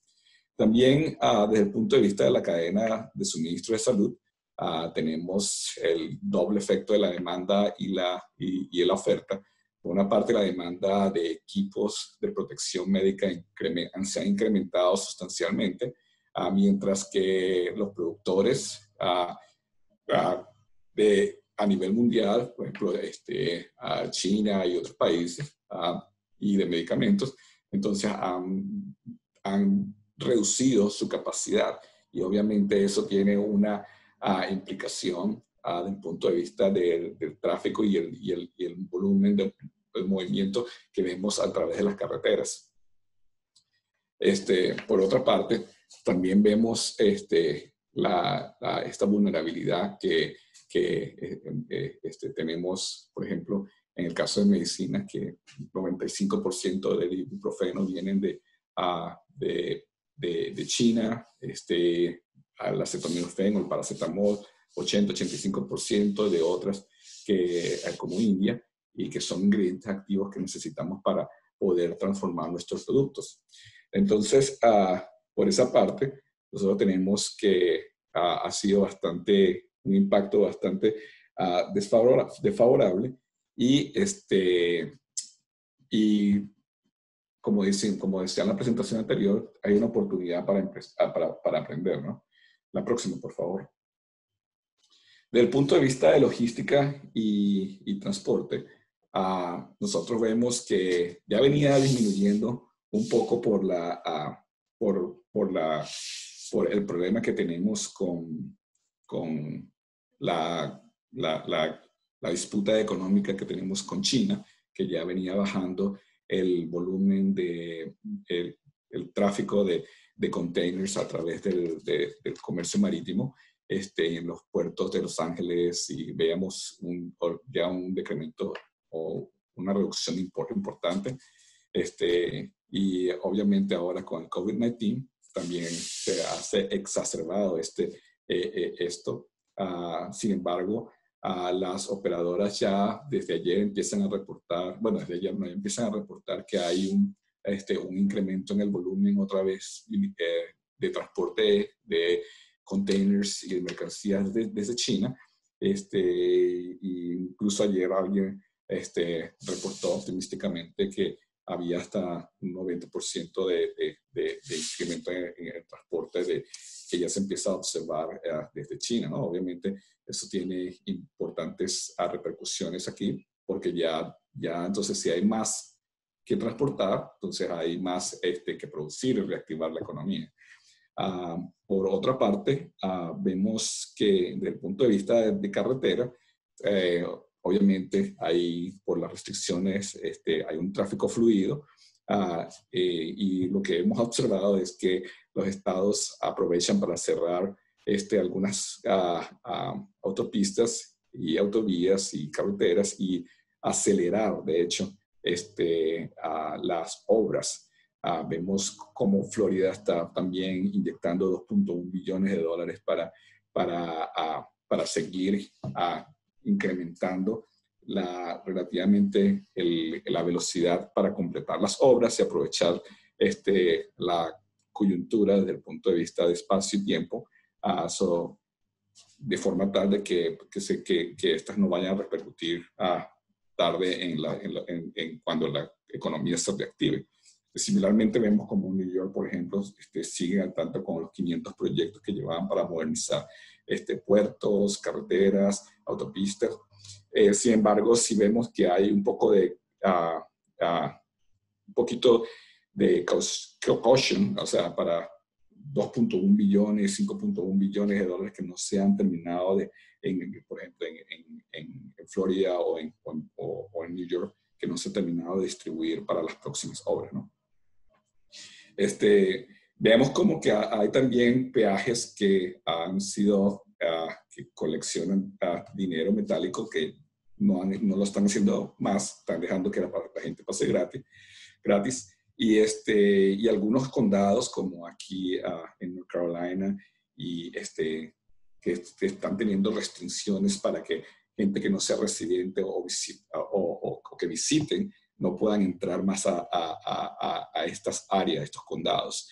Este, desde el punto de vista logístico, nosotros vemos también que, que hay una variabilidad bastante increíble. Ah, por ejemplo, hay un, un, retailer que, este, que usualmente pide 250 mil botellas de Gatorade este mes, por semana y le ha pedido a, a, Ecos que transporte 7 millones en, eh, en, o 14 millones en dos semanas. O sea que a una variabilidad bastante alta y desde el punto de vista de, de, la, de, la, de la variabilidad que se ve amplificada en la cadena de suministro, eh, nosotros vemos que hay el, el, el, efecto que se llama el bullwhip effect o el efecto látigo.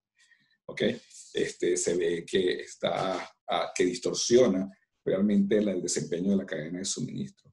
Ah, también vemos que, ah, que hay situaciones puntuales, por ejemplo, en Los Ángeles se ha detectado que las, que, que las carreteras que están, autopistas que están libres, entonces han, han habido, o hay carreteras de, carreras de coches, y, este, y, y, pero entre todos, este, en el agregado, han bajado los accidentes y las fatalidades, ¿no? Este, la próxima, por favor. Desde el punto de vista de, perspectiva e incertidumbres, probablemente eh, muchos están ya familiarizados, este, el gobierno y el, eh, el, gobierno, el Senado, este, se ha puesto de acuerdo y este, va a generar una serie de hasta 2 trillones de dólares en, en, estímulos ah, para enviar a la gente que está desempleada o que tiene cierto nivel de ingreso.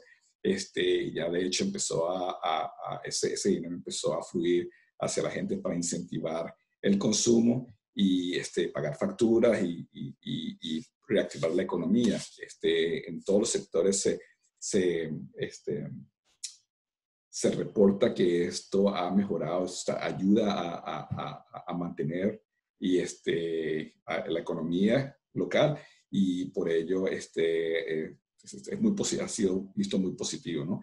Pero ahí también está el, el, índice de confianza, que hay mucha gente tampoco que puede salir a gastar tanto cuando hay un, un, un ambiente de incertidumbre tan, tan alto.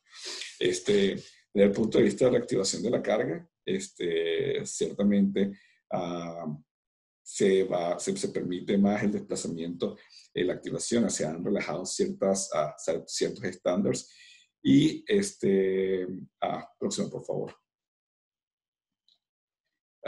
y desde el punto de vista de tránsito, una vez ya cuando empiecen a bajarse las restricciones de estar en casa y, este, y los estados empiecen a abrirse nuevamente a la economía, Ah, ciertamente se espera que haya, este, a nivel de pasajeros, haya un incremento significativo este, y a nivel de, de, la carga también, ya que se está, ya se está recibiendo la materia prima que, sea, que, que, tradicionalmente viene de China u, otras, uh, u otro de nuestros socios comerciales.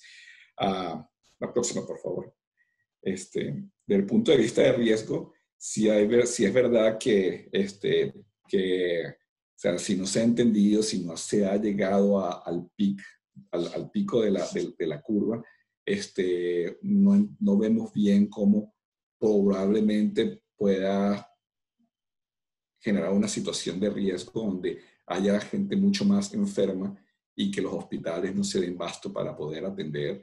Este, y eso obviamente genera un, una, eh, pánico y puede que sea este intento pueda ser este negativo. Por otra parte, si se puede, si se sigue manteniendo este, este nivel y que los hospitales son, son posiblemente puedan seguir a, atendiendo las personas que están a, contagiadas y no haya esta sobresaturación que estamos experimentando, entonces se gana un poco de tiempo para que pueda eh, desarrollarse este, la tecnología en términos de fármacos y vacunas para poder hacer frente a esta pandemia. Entonces, este, obviamente, lo más, una de las cosas más complicadas aquí es que ah, tenemos, que tenemos a gobernadores con diferentes opiniones, con diferentes tendencias, y, este, y normalizar eso ah, es bastante complejo porque tenemos ciudades y estados cuyas uh, ratios de infección son relativamente bajos y otros que son relativamente altos. Y, este, y, eh, y esto obviamente no lo hace uniforme para una decisión y por eso es que cada estado está viendo este, cuáles son sus mejores opciones para poder hacer frente a esta crisis. O sea, en algunos se están mejorando, en otros todavía no se ha llegado al, al, pic y, este, y esa falta de uniformidad se hace bastante complejo para tener un criterio completo sobre este territorio, como dije inicialmente, por 310 millones de personas. Entonces, este, nada, seguimos cruzando los dedos y, este, y esperamos que esto ah, sea controlable eh, lo más pronto posible, este, que se desarrolle esta vacuna o que, que sean exitosos los, uh, los test de estas vacunas y, este, y podamos a, reactivar la economía, el transporte de carga por carretera lo más pronto posible, que es uno de los sectores que se ha, que ha enseñado que es más resiliente y este, a, comparado a otros sectores porque el, el, el, que el conductor del camión está más solo, está, ya practicando una distancia social de alguna forma. Y lo único que ha seguido teniendo un poquito de problemas es que en los uh, warehouse, en los, en los, almacenes, este, no, no hay mucha gente para, mucha labor para hacer la carga y descarga y eso ha, sido, ha traído como consecuencia estar un poco un poco delatado los, los, los, los las entregas. Entonces, por esto, este, un millón de gracias a todos este, por su tiempo. Y bueno, nada, este, le dejo la palabra a, ahora a Miguel y a su grupo. Gracias. Muchísimas gracias, Rafael. Muchísimas gracias por esta presentación estratégica de cuáles son las repercusiones en, la cadena logística y en la economía de Estados Unidos, un territorio gigante, como, como bien indicas y como también nos dijeron en el primer eh, seminario, pues eh, las estructuras federales cuesta un poco más homogenizarlas.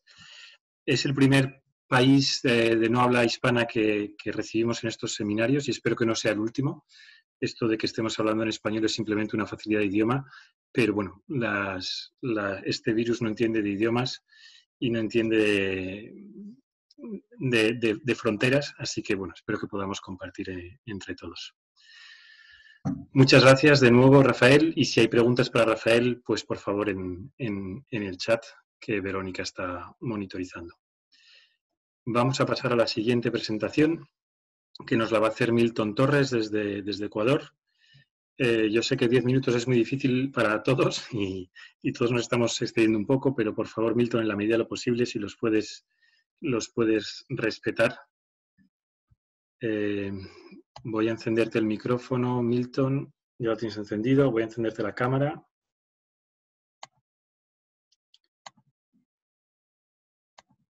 Adelante, Milton. Si quieres, puedes encender la cámara y cuando quieras pasamos a tu presentación. Hola, buen día para todos. mi nombre es Milton Torres y represento al Comité Nacional de Ecuador en APIARC. Mi presentación es más desde tipo de vista profesional, desde la agrupación que represento, la Sociedad Ecuatoriana de Ingeniería de Transporte, no se ve la ingeniería de transporte y basándome en eh, informaciones, eh, informaciones generales que nos da el Comité Operativo de Emergencia de Ecuador que se formó con eh, el decreto de ley de emergencia del presidente de la República.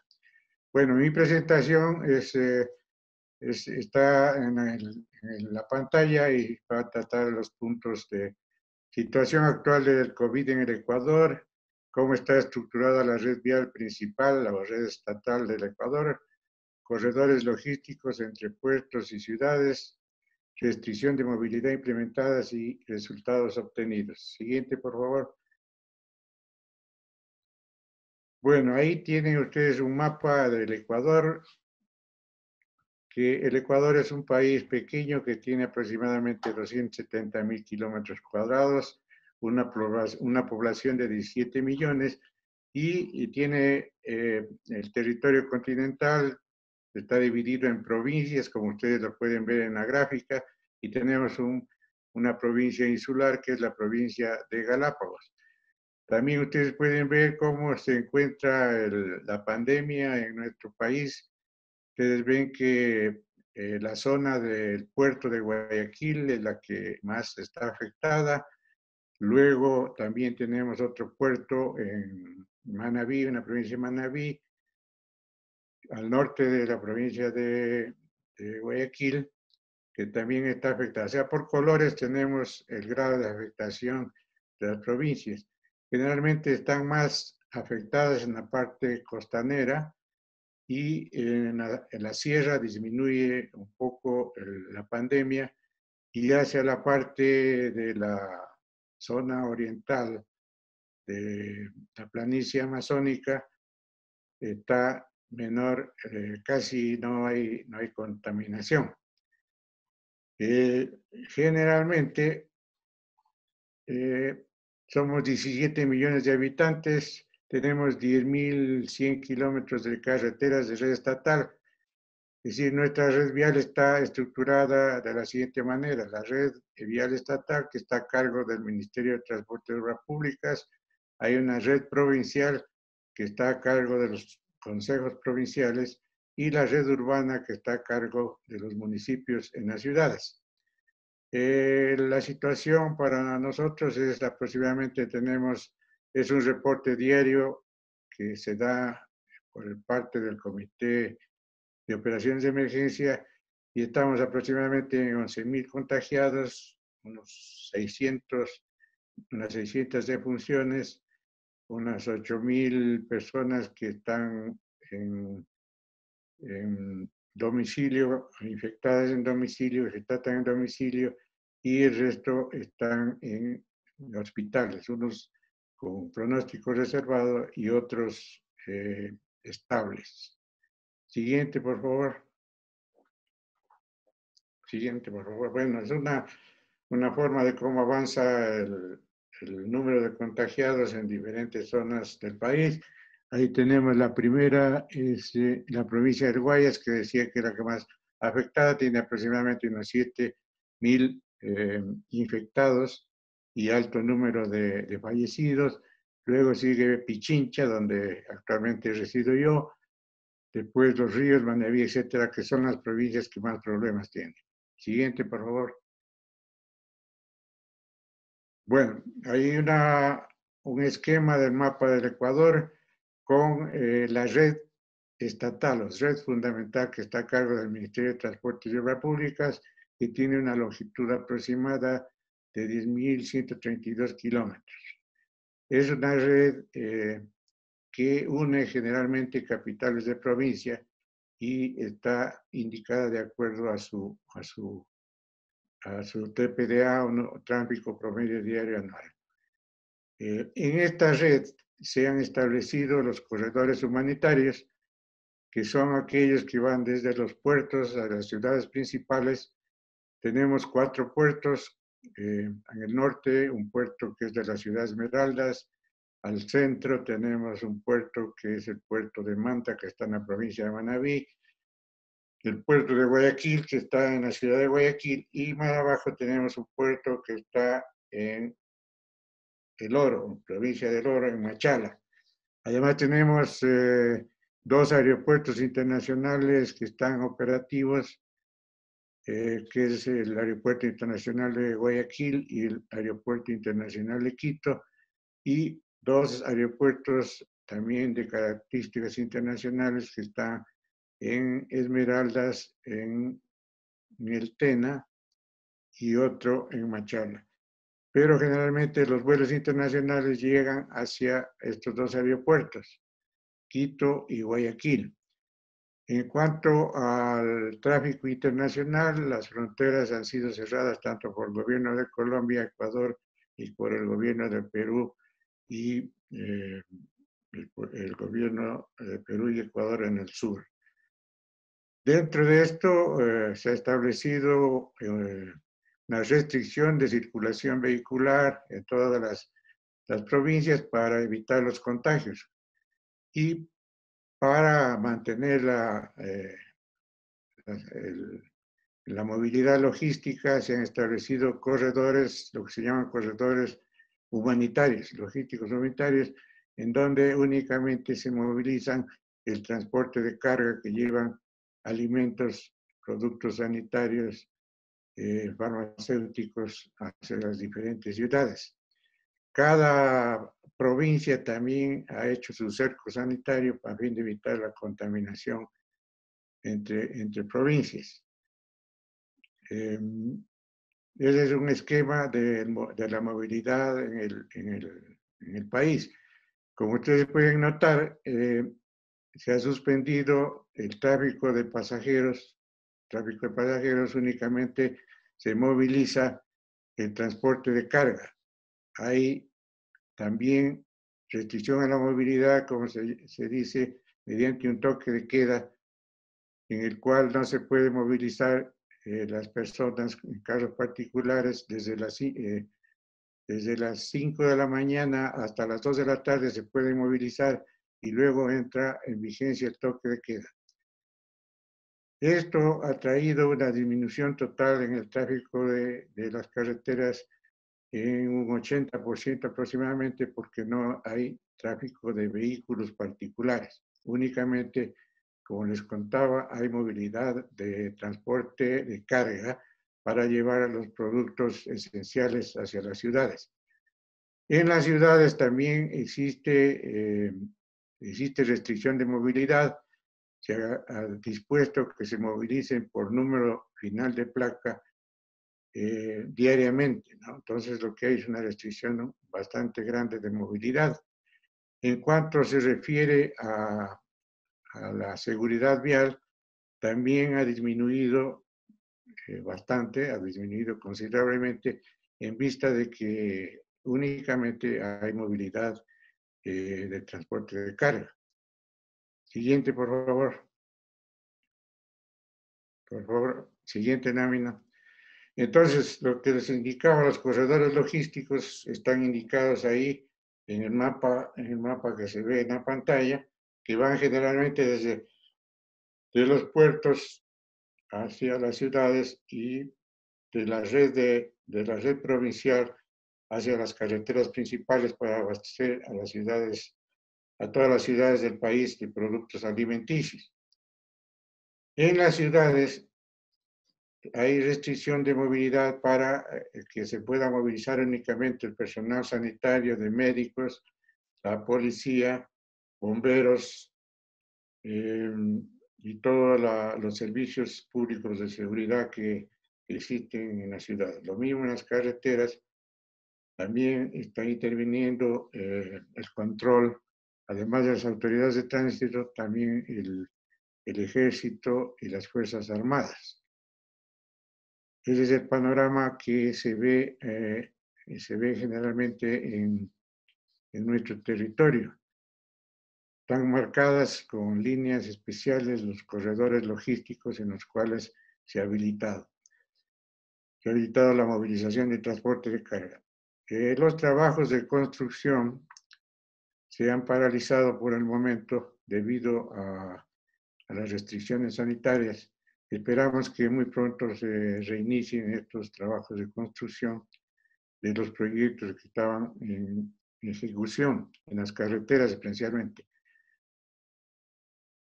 Pero eh, el Ministerio de Transporte y Obras Públicas mantiene una constante operación de la conservación de las vías, especialmente en los corredores logísticos que se han establecido. Em, eh, el tráfico en los aeropuertos y puertos también está restringido por cuestiones sanitarias. No existe mayor movilidad en los aeropuertos y eh, en los puertos sí porque tienen que llegar productos. También se han establecido protocolos, protocolos sanitarios en los puertos, especialmente en los puertos por el manejo de, de productos de importación y exportación. En los aeropuertos existe también un control sanitario para los pocos vuelos que están permitidos que, lleguen. El próxima, la próxima lámina, por favor. Por favor, la siguiente lámina. Entonces dice, para enfrentar la pandemia derivada de la contaminación del COVID, eh, se estableció de manera obligatoria la limpieza sanitaria del transporte público, el 15 de marzo del 2020, el COA Nacional, mediante resolución, dispone la suspensión de clases a nivel nacional. Se realiza la declaración de emergencia sanitaria fecha 16 de marzo de 2020. La suspensión de los servicios de transporte público en los subsistemas convencional, metrobús, transporte comercial y taxi en las ciudades. La restricción de circulación desde las 21 a las 5 horas a partir del 17 de marzo. Siguiente, por favor. Siguiente, por favor. Siguiente lámina, por favor. Bueno, eh, y para terminar, existen otras láminas que no sé cómo no, no, no están pasando, pero para terminar, ah, bueno, ahí está la circulación, la circulación de vehículos de acuerdo al número de placa, las áreas estratégicas de producción y comercialización de alimentos, medicinas y cadenas de exportación se mantienen operativas con las limitaciones que la crisis impone. Es relevante el desarrollo de actividades productivas en línea y el teletrabajo se ha establecido para las instituciones públicas. El crecimiento coyuntural de servicios de entrega a domicilio. Esto es importante. En, la en las ciudades se ha instituido la entrega de alimentación mediante, mediante la provisión de servicios especializados. Todos los restaurantes están cerrados, en los mercados también existe mercados para expendio de productos, existe también control sanitario que está causando una serie de inconvenientes también por la la forma en que se comercializan los productos de manera informal. Siguiente, por favor.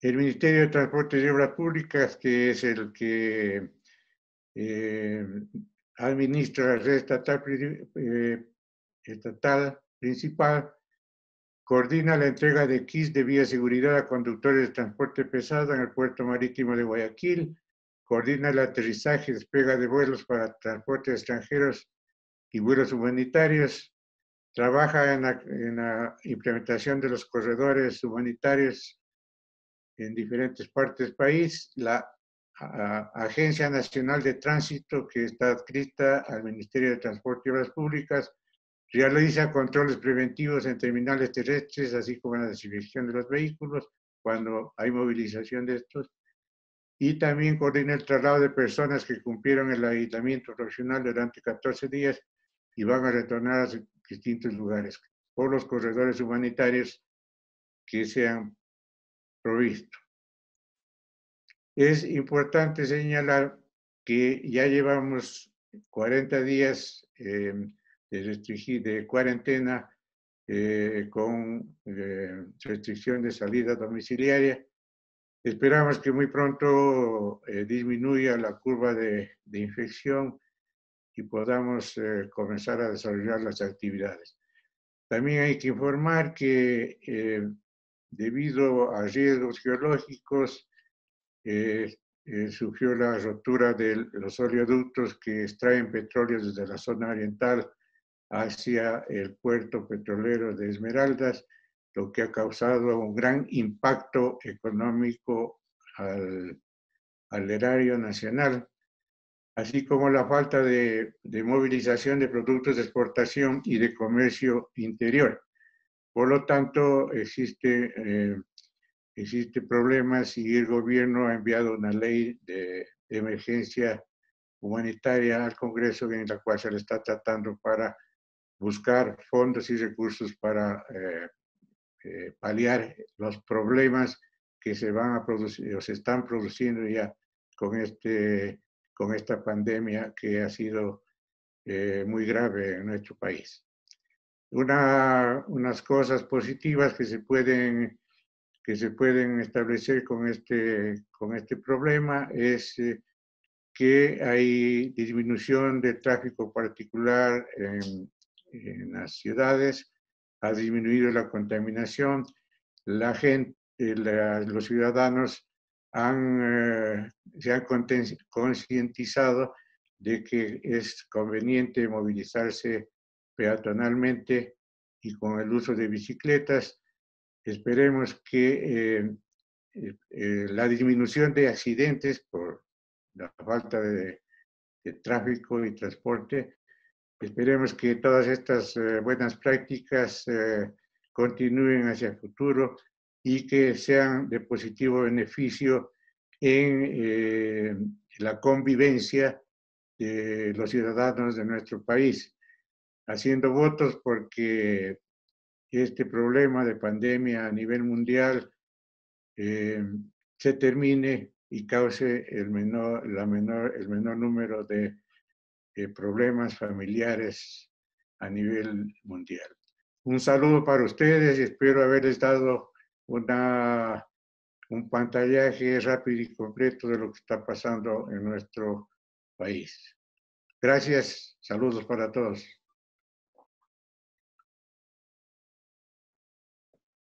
Muchísimas gracias, eh, Milton, por ofrecernos esta presentación desde Ecuador, efectivamente un país que, que está teniendo muchos casos y cómo afecta a la infraestructura de carreteras. Muchas gracias, Milton, por siempre responder a, a las peticiones de, de PIARC y estaréis siempre atento.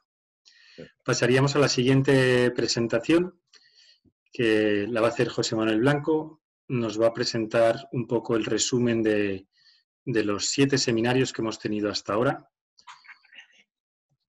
Adelante, José Manuel, cuando quieras, por favor. Buenas tardes, buenos días. ¿Se me escucha bien? Se te escucha bien, perdona, tenía el micrófono apagado. Adelante. Bueno, eh, creo que voy a cerrar el vídeo porque en el anterior seminario, al tener el vídeo encendido, había problemas de audición. Así que un saludo y cierro el vídeo. Si te parece, Miguel. Bueno, eh, voy a intentar resumir los siete seminarios en línea que hasta se han celebrado. El siguiente, por favor. Para los que no me conozcáis, aquí me tenéis con mi familia, en alguna obra de carretera. Soy el actual secretario de Lengua Española del Comité 1.1 Funcionamiento de las Administraciones de Carretera. En el ciclo anterior fui el presidente, que ahora lo dirige Cristos Genofontos. Cristos y yo, Jonathan Spear, os lo adelanto ya, formamos parte del equipo de respuesta de Piaga la COVID, que tiene mucho que ver con estos seminarios y con una novedad que luego os daré. La siguiente, por favor. Hemos celebrado hasta ahora ocho seminarios, contando con el que ahora estamos celebrando. Eh, aquí tenéis la relación de ellos, países que han participado. En el caso del del 15 de abril, eh, las siglas IATR son la de la Asociación Internacional de... de eh, ah, no me acuerdo ahora. De operadores de transporte, no me acuerdo ahora, sinceramente. Pasos, por favor. Bueno, todos los vídeos están en la página web de, de la asociación y se ha elaborado una nota al respecto de todo lo que estamos haciendo que se acaba de colgar en la web. Eh, mientras estábamos en el seminario se estaba colgando, está en inglés y esperamos traducirla muy rápidamente al español y al francés.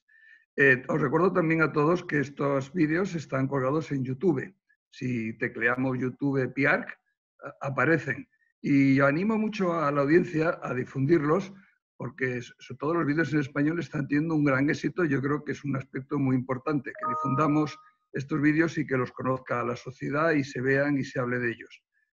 Eh, y ahí tenéis también un poco la imagen de la página especial que ha creado COVID, eh, perdón, PIAX, PIAX sobre la COVID. La siguiente, por favor.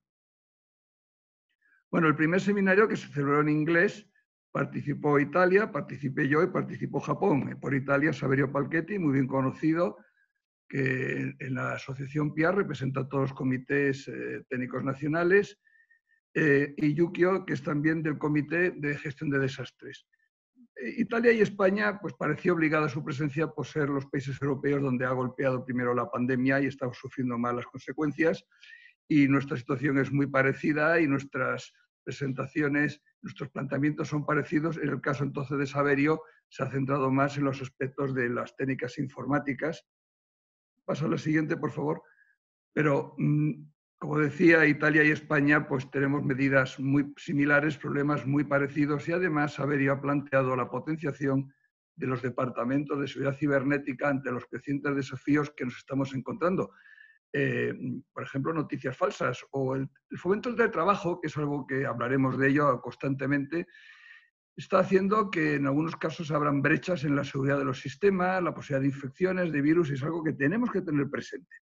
Japón, en cambio, era el otro extremo de la situación. Japón, en ese momento, digo en ese momento que se celebraba este seminario, pues no catalogaba su situación como crisis, aunque ya notaba un descenso del tráfico del orden del 10%.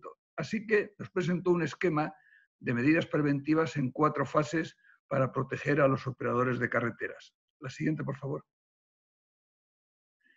El seminario segundo, celebrado también en, eh, celebrado en inglés también, pues participó Estados Unidos, participó el que antes os mencioné, Jonathan Spear, que es inglés pero reside en los Emiratos Árabes Unidos y nos dio la visión desde allí del sector privado. De nuevo Italia, la persona de Valentina Galasso, que es la presidenta del comité de las siglas en inglés RNO-ITS, que tiene operaciones en la red de carreteras y sistemas inteligentes de transporte, y China, como no. Comenzando por Estados Unidos, pues eh, se nos comentó los aspectos que yo destacaría más es que su Ministerio del Interior ha declarado esenciales a los trabajadores de las infraestructuras, las oficinas están cerradas, se practica el teletrabajo. La siguiente, por favor. Esto de declarar esencial el transporte y la carretera es algo que en todo el planeta está pasando y es una oportunidad que tiene el sector muy importante, recordárselo a la sociedad y a nuestros dirigentes. Como en casi todas partes, el transporte público ha tenido enormes reducciones que llegan al 90%. Esta es otra cifra que se ve muy a menudo. Lógicamente, se ha reducido la recaudación por carburantes.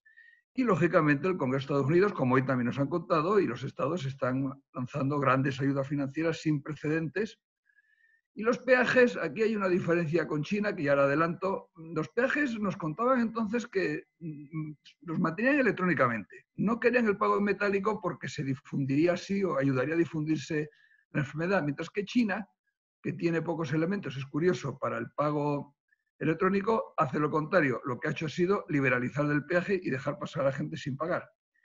En cuanto a las obras, muchas las pararon, pero ahora las están reiniciando. Este es otro tema donde no hay uniformidad a lo largo de los países de los seminarios que iremos viendo. En cuanto a los Emiratos Árabes Unidos, hay pocas personas infectadas, pero han tomado medidas muy duras. De nuevo, el tráfico ha bajado en carretera un 85%. Se encuentran con el impacto evidente de la bajada del precio del petróleo que les ha impactado. De nuevo, los bancos centrales intervienen con incentivos y como en casi todas partes se da toda clase de facilidades para el transporte de mercancías, que está siendo el gran protagonista de la crisis de, desde el punto de vista de carreteras, me refiero, lógicamente, de esta crisis que estamos padeciendo. Y el teletrabajo es el otro gran protagonista que se está extendiendo por todas partes. Las obras allí no se han paralizado, pero sufren retrasos pues, por falta de trabajadores, de suministros, etc. La siguiente. Bueno, eh, también Jonathan, os animo a, ver su presentación, es un hombre mm, de gran visión amplia. Eh, plantea una serie de reflexiones muy interesantes sobre las implicaciones a largo plazo de esta crisis y lo que él llama una nueva normalidad que no va a ser la actual. Este es un término que fue la primera vez que lo oí, luego lo he ido escuchando, hoy también lo he escuchado varias veces. ¿Cuál será esa nueva normalidad? ¿Qué retos, qué oportunidades, qué certezas tenemos sobre ella? Finalmente, eh, eh, Valentina Galasso pues, nos habló de la importancia de las nuevas tecnologías para la mejora de la movilidad de personas y mercancías, el intercambio de comunicación, la información está siendo otra gran protagonista, y tomar decisiones y continuar las operaciones, porque todo lo que estamos hablando tiene una, una cosa subyacente, que es que hay que continuar las operaciones. ¿Qué operaciones? Pues que puedan moverse las mercancías esenciales y que puedan ir los servicios esenciales a los sitios donde tiene que atender y las personas a esos trabajos esenciales. Si la continuidad se rompe, el sistema se cae. Bueno, y hay que desarrollar de esto una visión fuerte y a largo plazo.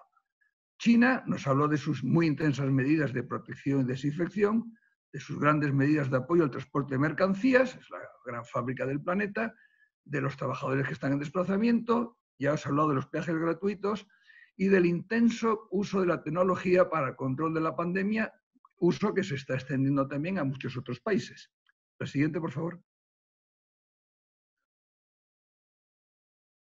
Bueno, Seminario Tercero fue en español, participó España y otra vez que lo que hice fue ampliar y actualizar mi primera presentación. Colombia, Chile, Paraguay, Argentina, México y Miguel resumió los anteriores seminarios. La siguiente, por favor. No voy aquí a, pormenorizar lo que dijo cada país porque somos todos aquí hispanoparlantes y estoy seguro que habéis visto, vais a ver dentro de muy poco el vídeo de esa presentación. Eh, os animo a verla, aquellos que no lo hayáis hecho. Me limitaré a decir que cada país expuso su situación, normalmente consistente en estado de excepción, controles fronterizos, cuarentenas, aduanas sanitarias, medidas sanitarias preventivas generales, cuidado especial en obras y transporte público, utilidad de tarjetas de, de prepago, por supuesto restricciones a la movilidad, restricciones al transporte de las personas, no así el de la mercancía que se le apoya, cierre de oficinas, fomento de trabajo, en eso hay uniformidad. Donde no la hay es qué hacemos con las obras. Paraguay no las ha cerrado, aplica estrictas medidas de prevención, entiende que es un sector muy importante y lucha por ello. En Argentina, pues una, cosa que la distingue, entre otras, es el, uso obligatorio de la aplicación COVID-19 a toda persona que entre en el país. La siguiente, por favor el compañero de Argentina, que es también un miembro activo en esta materia de nuevas tecnologías y pertenece al comité que antes os dije, Valentina Calaso, pues también nos habló de la suspensión de cobro de peajes en los accesos a Buenos Aires, mientras que México los mantiene. Y como allí en Argentina están observando pues, el incremento del uso de las bicicletas y no tanto del vehículo particular, no así en otros sitios. Por ejemplo, os lo adelanto en Australia, del cual lo hablaremos. Bueno, unas primeras conclusiones que sacamos, bueno, México también nos señaló, y es muy interesante, los aciertos y desafíos que se están encontrando. Y obtuvimos algunas conclusiones provisionales, tales como que la pandemia es disruptiva, algo que era el tercer seminario, el cuarto seminario, y se va evidenciando cada seminario que vamos eh, celebrando, que va a dejar una profunda huella, no sabemos muy bien cuál, pero que va a ser profunda, eso está claro que nos va a dejar mejor preparados y más nos vale cuando regresemos a una nueva normalidad y tengamos conclusiones definitivas. Y algo que está también planeando y que hoy también se ha mencionado es pensar en la reactivación y cómo llevarla a cabo. A ver si va a ocurrir que ahora el que va a pagar los platos rotos es el transporte. Bueno, eh, hay mucha coincidencia en qué aspectos ocuparse y hay algunos detalles, eh, los que he mencionado, en los que no hay tanta uniformidad o la valoración, pero bueno, eso es evidente, somos muchos y no va a haber uniformidad total. La siguiente, por favor. El siguiente seminario, que fue en inglés, 10 temas emergentes, de nuevo Jonathan Spear eh, nos presentó, luego un resumen del seminario por Miguel, luego habló Grecia, luego Australia, que es también miembro del comité, es el secretario de lengua inglesa del comité al que yo pertenezco como secretario de lengua española, y luego Italia habló de otro, otro asunto del cual ya se está hablando también. Estamos hablando muy a menudo de transporte público o transporte privado. Vamos a empezar a hablar cada vez más de transporte individual y transporte colectivo, masivo. La siguiente, por favor. Así como os decía Jonathan, pues nos expuso 10 aspectos clave que hay que tener en cuenta, os animo a leerlo. Miguel hizo un detallado resumen del seminario en español que se había celebrado. Grecia nos expuso las muy dolorosas consecuencias que para un país como Grecia, Grecia como Italia y como España, somos países muy similares, somos mediterráneos, tenemos mucho turismo, nuestras sociedades se parecen mucho y estamos sufriendo grandes consecuencias económicas y tenemos un gran temor del impacto económico que va a tener en este año y las consecuencias de ello. Por supuesto, ahí la red de autopistas de peaje, como en casi todas las redes de autopistas, los tráficos se han derrumbado y allí se están planteando una perspectiva en sucesivas fases que no ser optimistas y están mirando, y esto es algo que ya cada vez se ve más, que ya empezamos a no preocuparnos tanto, porque ya lo estamos gestionando, el problema que tenemos. Eh, diríamos en España, el toro que tenemos en la plaza, ya sabemos cómo torearlo. Estamos ya pensando en el siguiente, ¿qué va a pasar a partir de enero del 21? Australia Occidental. Australia Occidental nos expuso sucesivas medidas de cierre de frontera, de su cuarentena, de las medidas económicas sociales, del brusco descenso del transporte público de personas. En cambio, el privado poco. ¿Qué está pasando? Pues está pasando, desplazándose las personas del tráfico de transporte público al transporte privado, al uso del vehículo privado. del apoyo al transporte de mercancías, de algunos problemas que han encontrado las obras y de que su voluntad es continuar las obras en la medida de lo posible y en atender a esas poblaciones, es un país enorme, a esas poblaciones que tienen muy alejadas. Finalmente, Italia nos expuso también, la, de nuevo, es algo reiterativo, la pérdida de pasajeros del transporte público. Hizo un número, por ejemplo, muy evidente. Si antes aceptamos las personas amontonadas, masificadas en un vagón de metro o de autobús, y ahora tienen que mantener una cierta separación por las reglas sanitarias, resulta que bruscamente el aforo de ese vehículo ha pasado a ser del orden del 8% del que tenía antes. Es un cambio de situación, de perspectiva brutal la sociedad ha cambiado su percepción respecto al transporte público y lo analiza muy bien en su presentación, que también animo a verla. Y, como yo os decía antes, él habla ya no del binomio público-privado, sino individual-colectivo. La siguiente, por favor. En el siguiente seminario, pues de nuevo Italia, lógicamente Italia es el país que está sufriendo tanto, el primero, aunque ahora España también, evidentemente. De nuevo Estados Unidos, Noruega, y Reino Unido. Italia nos destaca su dramática disminución del tráfico, aún mayor, como vengo insistiendo, autopistas de peaje y sus tremendas consecuencias económicas para sus administraciones de carreteras. Claro, si allí se financian por, por el cobro de, de peajes, pues la situación es mala. En países como, por ejemplo, España, que nos financiamos la Dirección General de Carreteras directamente al presupuesto, no es así. Digo, otra cosa es que sea malo, por supuesto, para el conjunto de la sociedad. Eh, consideración sobre nuevas pautas, sobre nuevos roles, sobre las posibles fases futuras que vendrán. O sea, Italia en esta presentación piensa, tengo un problema muy serio, ¿qué voy a hacer en el futuro? La siguiente. Bueno, la IATR, pues os contaba la, la composición, su misión, los impactos en el transporte de Estados Unidos en Canadá, medidas de ayuda federal o estatal que han adoptado ambos países, y los resultados preliminares, que también son muy interesantes, de una encuesta que han hecho a los operadores de transporte como consecuencia del brote de la COVID. Y, de nuevo, se piensa en el futuro. ¿Qué van a hacer los reguladores a largo plazo? De nuevo, personas que ya miran al 2021 y más allá.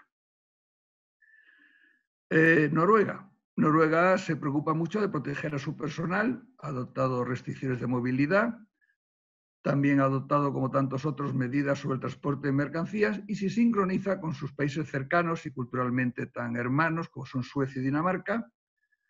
En lo de las obras, pues hay una parcial afección, eh, quieren continuarlas y además tienen preparados proyectos para, cuando pase los efectos de la pandemia, tirar para adelante. Y además hace también esas reflexiones que también os animo a leer sobre unas consideraciones mm, sobre el riesgo y la resiliencia. Reino Unido. Reino Unido nos presenta, es le hicieron dos, es una preparación, una presentación preparada por dos ingleses, un panorama del sector, nos presenta una detallada cronología e impacto. Inglaterra ha dado mucho que hablar en los medios de comunicación, el apoyo del gobierno central, las percepciones del público inglés ha sido muy variada con respecto a si continúan o las obras. Quieren continuar, las continúan en lo que pueden, aunque tienen problemas en la cadena de suministros. Y ya su Consejo de Carreteras está instando a profundos cambios en todo el sector. Es también muy interesante esa presentación para ver por dónde quieren allí avanzar. Están pensando en un camino hacia recuperación en dos fases y además acompaña un anexo que puede ser de utilidad sobre asignación de niveles críticos o esenciales a las labores en las carreteras. La siguiente, por favor. En cuanto al primer seminario que se ha celebrado en francés, el día 17, pues han hablado dos países africanos, como es Burkina Faso, Benín y Túnez, y Bélgica. Empezando por Burkina Faso, nos ha contado una situación de alerta sanitaria, toque de queda, cierre de fronteras, cierre de actividades, cuarentena. Nos suena mucho a cosas que hoy hemos oído a medidas en el transporte público, reduciendo reuniones de las personas, a ralentización o detención de algunas obras de infraestructuras, a suspensión de procedimientos de puesta en marcha. Como veis, eh, en todos los continentes estamos sufriendo más o menos lo mismo, con pocas semanas de, de calaje. La siguiente, por favor. Benín. En Benín está el secretario de lengua francesa del comité al que pertenezco. Pues también nos ha contado la evolución de la pandemia allí. Y allí también han tenido que establecer un cordón sanitario, esta vez en la zona sur del país, que es la de más alto riesgo, para, digamos, proteger al resto del país con respecto a este. Nos han contado sus decisiones gubernamentales, las cuarentenas, los cierres de actividades, los servicios de transporte durante la crisis, de nuevo vemos cifras del orden del 90% reducción de los tráficos y también vemos que el transporte de mercancías es el protagonista. También luchan en lo que pueden para mantener sus obras y el mantenimiento, aunque también se encuentran con dificultades de abastecimiento de receptiva, y también el teletrabajo se hace presente. Saltando Europa, Valonia, que es la parte belga que habla en francés, la más cercana a Francia, pues nos habla de sus medidas de contención, que las tienen concebidas. A ver, ellos dicen, nos vamos a ir contagiando. Bueno, pues vamos a agradarlo para evitar que en ningún momento el número de enfermos supere la capacidad de nuestros hospitales, que eso lo dramático. Han ido cerrando actividades y servicios no esenciales. Grupos de expertos están ahora mismo haciendo escenarios de desconfinamiento de la población, viendo cómo evolucionan las cosas, eh, y los efectos en cuanto a las operaciones en carreteras, pues volvemos a lo de siempre. El transporte de autobuses, pues nadie quiere autobús, el 90% es reducido, los ligeros menos que en otros sitios, 50%, y camiones un 40%. Un 40%. De nuevo el teletrabajo, no se, ha, no se ha decretado la paralización obligatoria de las obras pero muchas lo están por temores de personal o problemas de suministro. El otro día yo hablaba con un colega francés que me contaba que en Francia había pasado lo mismo los primeros días. Muchas obras no es que se quisiesen parar, es que literalmente abandonaron los trabajadores o equipos de dirección de las obras, las obras y se negaron a continuarlas. Ahora ya se están reiniciando, como también en Bélgica, y la voluntad de reinicio se está extendiendo. Está pasando el pánico, vamos a decir. La siguiente, por favor. Túnez, finalmente, otro país mediterráneo, cercanísimo a Italia, el turismo de nuevo protagonista, como España, Italia, Grecia, pues problemas parecidos, soluciones parecidas. Progresivas medidas, toques de queda, cierre general, confinamientos, se suspenden las obras y las van a estudiar una a una. Me imagino que porque tienen un serio problema económico debido al cierre del turismo, cierre de fronteras, trenes suspendidos, salvo los suburbanos, autobuses suspendidos, de nuevo el autobús nadie lo quiere, los taxis se mantienen pero solo con un pasajero, generalización de cobro electrónico como en otros sitios y como tantos otros sitios hay que pensar en ayudas a los trabajadores, a las empresas y a los profesionales liberales. Y dan una cifra de días, de que puede durar un, confinamiento, 60 días, 40, 60 días parece que ya es una, cifra a partir de la cual el confinamiento ya empieza a ser socialmente inaceptable. La siguiente, por favor. Pasamos al último seminario que fue ayer, fue en inglés, y en este caso pues habló Francia, un representante de, hablamos de autopistas en Francia, Portugal, Uganda y de nuevo Italia. En el caso de Francia se centró en los enormes impactos que está teniendo eh, las, intensidades de circulación, bueno, el enorme impacto que las reducciones de intensidad de circulación está teniendo en las compañías de transporte, en la logística, en los establecimientos de restauración, en las áreas de servicio y de descanso, en los peajes, en la forma de pagarlos. La siguiente, por favor. Portugal nos expuso su organización, el IMT, Instituto de Movilidad de Transporte, eh, sus funciones y cartografía de la red de operadores, el IP, que es Infraestructuras de Portugal, no es que esté mal escrito, es que en Portugal escriben infraestructuras, ¿no? sin la C, y sus funciones, el desarrollo de la crisis, los controles en las fronteras con España, y ellos han establecido diferentes grados de limitaciones a la movilidad o confinamiento de las personas. Me parece un planteamiento muy interesante que también animo a leer. Los efectos observados en la reducción de la movilidad, y medidas que han adoptado en operaciones y mantenimiento. Uganda nos describió su, autoridad en materia de carreteras, la UNRWA, sus medidas gubernamentales y de nuevo nos encontramos con un tremendo impacto económico que les está preocupando muchísimo, sobre todo por cómo le afecta a sus proyectos de colaboración público-privada o alianza público-privada, creo que se dice más en las Américas y el impacto en las operaciones en carreteras y vías de respuesta. Y se están planteando algunas cuestiones también con vistas al futuro. Y finalmente Italia pues, ha presentado un panorama general de procedimientos de contratación de los de emergencia empleados en Italia, cómo los aplican a este caso de la pandemia, lo comparan con otros casos que ha habido de gravísimas emergencias en Italia, que es por cierto un país, ya sabéis, muy sísmico, tiene constantemente grandes problemas, y finalmente hace una serie de consideraciones sobre las limitaciones de estos procedimientos y las soluciones que se proponen. La siguiente, por favor.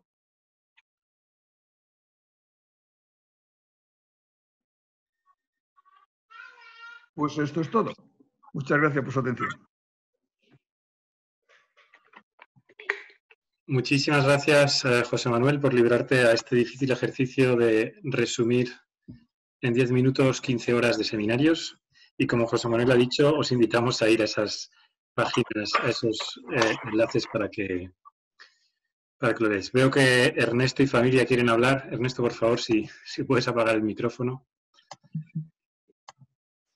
Eh, vamos a pasar ya a la parte de preguntas y respuestas. Hemos recibido bastantes eh, preguntas en el chat. Si alguien quiere hacer alguna, todavía está a tiempo, pero tenemos bastantes. Em, Verónica, por favor, adelante, modera esto, em, esta sesión. Y bueno, eh, pediría a todos los que van a responder que intenten responder en un minuto, como máximo dos, para que nos dé tiempo a, hacer todas las preguntas, incluso a que dos ponentes ofrezcan respuesta a la misma pregunta. Verónica, adelante, por favor. Vale, bueno, pues espero que todos estén disfrutando de este seminario. Como mencionaba Miguel, tenemos varias preguntas, así es que vamos a empezar con dos que van a ser dirigidas a Ana Luz y hablan, o más bien cuestionan, sobre la importancia de recopilar datos y pues que en este caso son fundamentales para gestionar la crisis. Las preguntas vienen de Emanuela Stocchi de Italia y de Roberto Guerrera de México. Y dicen así, quisiera saber si en la Dirección General de Tráfico están también desarrollando programas o iniciativas para hacer frente a los perículos relacionados con la ciberseguridad, ya que los datos implican también proteger los datos de posibles ataques informáticos. Y la segunda pregunta dice, ¿tiene el Ministerio de Fomento o la Dirección General de Tráfico algún acuerdo de colaboración con los grandes acopiadores de datos de movilidad como Google, Qualcomm, Movit u Omnitrax? Bueno, pues respecto a la primera pregunta, efectivamente tenemos un departamento de informática donde se establecen las políticas de seguridad porque manejamos datos eh, de carácter personal en muchos casos, cuando he hecho referencia al registro de vehículos, registro de conductores, infractores, y la Agencia Española de Protección de Datos nos exige pues, unos niveles de protección realmente importantes. Así que tenemos desarrollado un departamento que se dedica a protegernos frente a esos ataques, a proteger nuestra información y bueno, pues están continuamente evolucionando porque obviamente los riesgos van cambiando y ellos tienen que ir adaptándose de manera importante.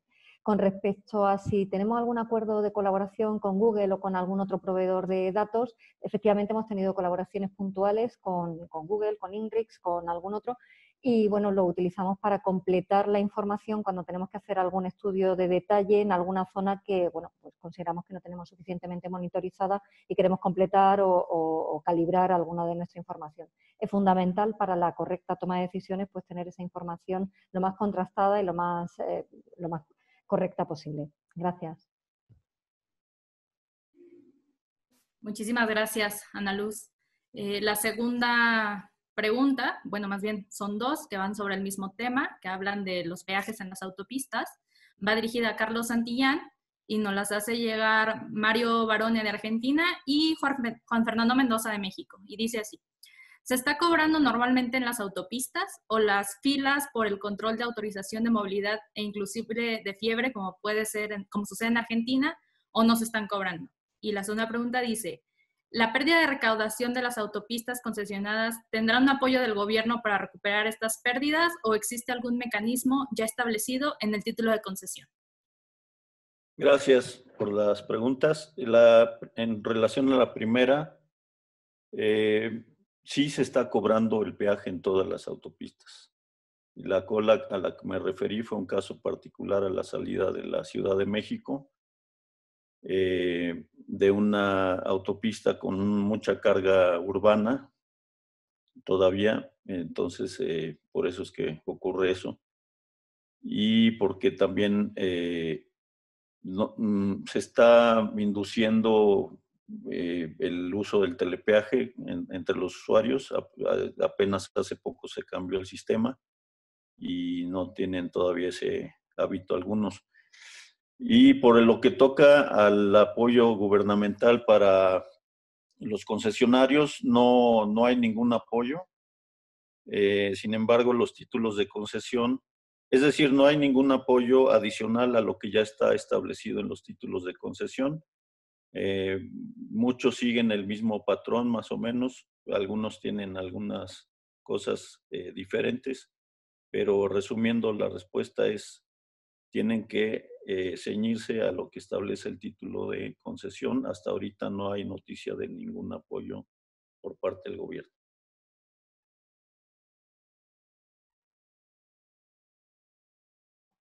Muchas gracias, Carlos, por tu, por tu respuesta. Vamos a dar paso a la tercera pregunta, que es para David Vila de Andorra y viene por parte de Juan Fernando Mendoza de México. Y dice, ¿tienen establecidas algunas medidas para los controles fronterizos en Andorra? Porque una vez que eliminen casos en el país, la importancia de casos continuará. Sí, mira, gracias por la pregunta. A ver, eh, el hecho de que Andorra esté entre Francia y España, básicamente tenemos la relación con nuestros vecinos, que ellos sí que tienen unos formularios. En el caso de Francia, tú tienes que rellenar un formulario en la embajada francesa eh, de tu destino y origen y lo mismo en el caso de la embajada española. Eso hace que ya tengamos el control de alguna manera hecho por los nuestros dos países, países vecinos que desgraciadamente pensamos que van a salir un poquito más tarde que nosotros de la crisis. ¿no? Entonces, en ese sentido, eh, de forma automática, ya hemos pactado con ellos que de alguna manera la frontera queda eh, controlada. A lo que afecta a los nacionales que quieren volver al país o la gente que tiene su trabajo, o si hubiera gente que tuviera que tener, eh, continuara viviendo en Andorra y se tuviera que quedar, todavía está prevista una cuarentena de 15 días mínimo para la gente eh, que regresa a Andorra y que quiera hacer una actividad en Andorra de forma normal. También el hecho de que se haga el test durante la semana que viene, casi la mayoría, prácticamente en 15 días, habrá toda la población que tenga el test que haya hecho, puede focalizar mucho a las personas y detectar de manera muy puntual a quién está o quién no está tocado por este COVID y entonces eh, hacerle que tenga que hacer este, tenga una obligación de tener un confinamiento durante 15 días. Al final la, respuesta viene o el control viene dado por la pequeñez del país y por el hecho que nuestros dos grandes vecinos ya tienen unos controles muy estrictos y la única manera de acceder en Andorra es a través de, a través de la carretera.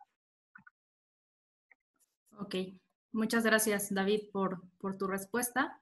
Vamos a pasar a la siguiente, que va dirigida a Milton Torres de Ecuador y a Carlos Santillán de México. La pregunta la hace llegar Héctor Varela y dice, ¿identifican acciones concretas para la reactivación del tránsito después de la cuarentena que puede requerir apoyo o financiamiento externo?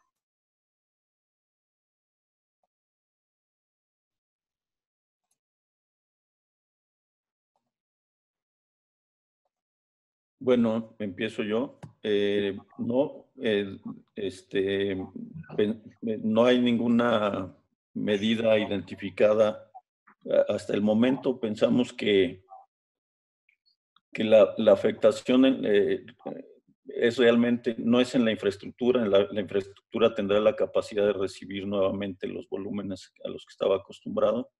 Sin embargo, sí, eh, lo que estamos haciendo es poner mucho énfasis en el cuidado del personal. Los que no deban de estar, los que puedan hacer trabajo en casa, se van a casa. Los que estén eh, necesariamente en campo, tienen que tomar medidas, las que ya conocemos todos, sobre todo lavado repetido de manos. Eh, y, este, y eso es la principal acción que tenemos que en mente para eh, la continuidad de la operación durante y después de la pandemia.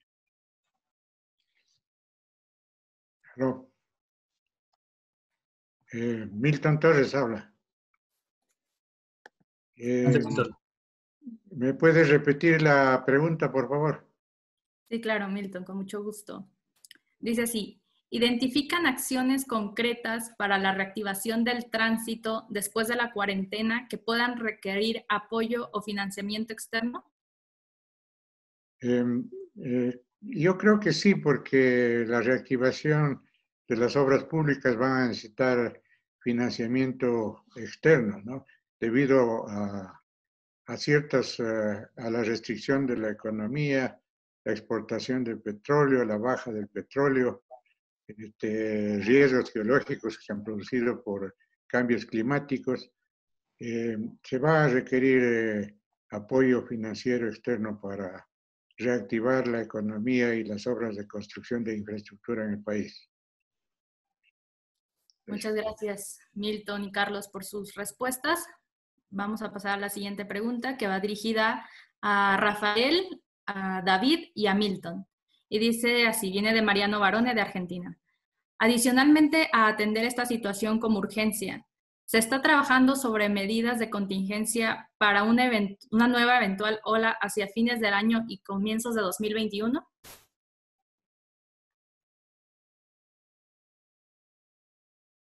Bueno, yo pudiera ah, decir en esto que hoy en día, si ya sabemos lo que más o menos viene, este, desde el punto de vista de gerencial y gestión, nosotros anticipamos y nos preparamos. Entonces lo que vamos a ver es una tendencia de abrir contratos para cambiar la capacidad hacia ventiladores, por ejemplo, la producción de ventiladores, este, prepararse con el equipo, ah, con el equipo de protección para la población y ya activar y tener planes B y C que mucha, mucha gente no tenía o muchos, muchas corporaciones no tenían estos planes desde el punto de vista ah, de transporte, lo mismo, o sea, tener los planes B y C, identificar dónde se quiere este, acelerar obras este, en ese caso, pero sobre todo estar preparado para la protección este, de la población.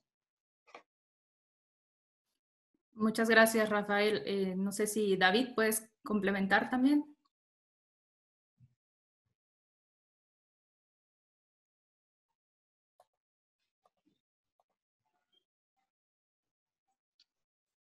Sí, David. A ver, un poco en la misma línea, tenemos, hemos hecho un stock importante también de, lo, de lo que es las mascarillas y los materiales de protección a nivel de ventiladores, Incluso el gobierno ha adquirido máquinas de, control de, PCR para poder hacer todos los test eh, y en función de la apertura y el grado de apertura, tener a toda la gente que se mueva por Andorra de una manera o de otra controlada para que este virus, que ya sabemos que la manera de actuar es, si no va a más, es la cuarentena y si va a más, es a nivel del material sanitario, pues tener la dimensión de, de la sanidad controlada. Eh, el hecho de que se hagan test masivos a toda la población eh, durante, a partir de la semana que viene va en esta línea.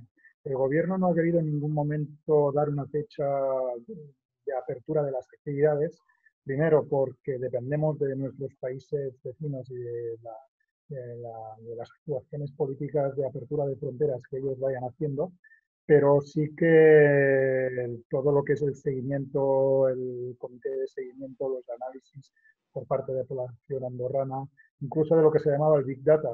En estos momentos también está, em, estamos manejando el hecho de que se pueda seguir eh, de forma voluntaria, es la gente que pueda eh, abrir eh, los móviles y dar autorización para que eh, cuando hagas un confinamiento te puedas quedar en casa o no te puedas quedar en casa, en casa pues haya un seguimiento de esto a esta población, pues hace que no nos hemos marcado una fecha límite eh, en el sentido de esto que no se va a acabar este verano. Sabemos que eh, a nivel turístico esto va, el verano ya lo tenemos perdido y lo que estamos es mirando de que a partir del verano y a partir de la temporada de invierno que viene, que es el sector económico más importante para Andorra, pues esto ya está en funcionamiento. A título anecdótico, grandes experimentos como puede ser el, el Cirque du Soleil, que viene cada año y hacen un espectáculo para Andorra, ha sido anulado.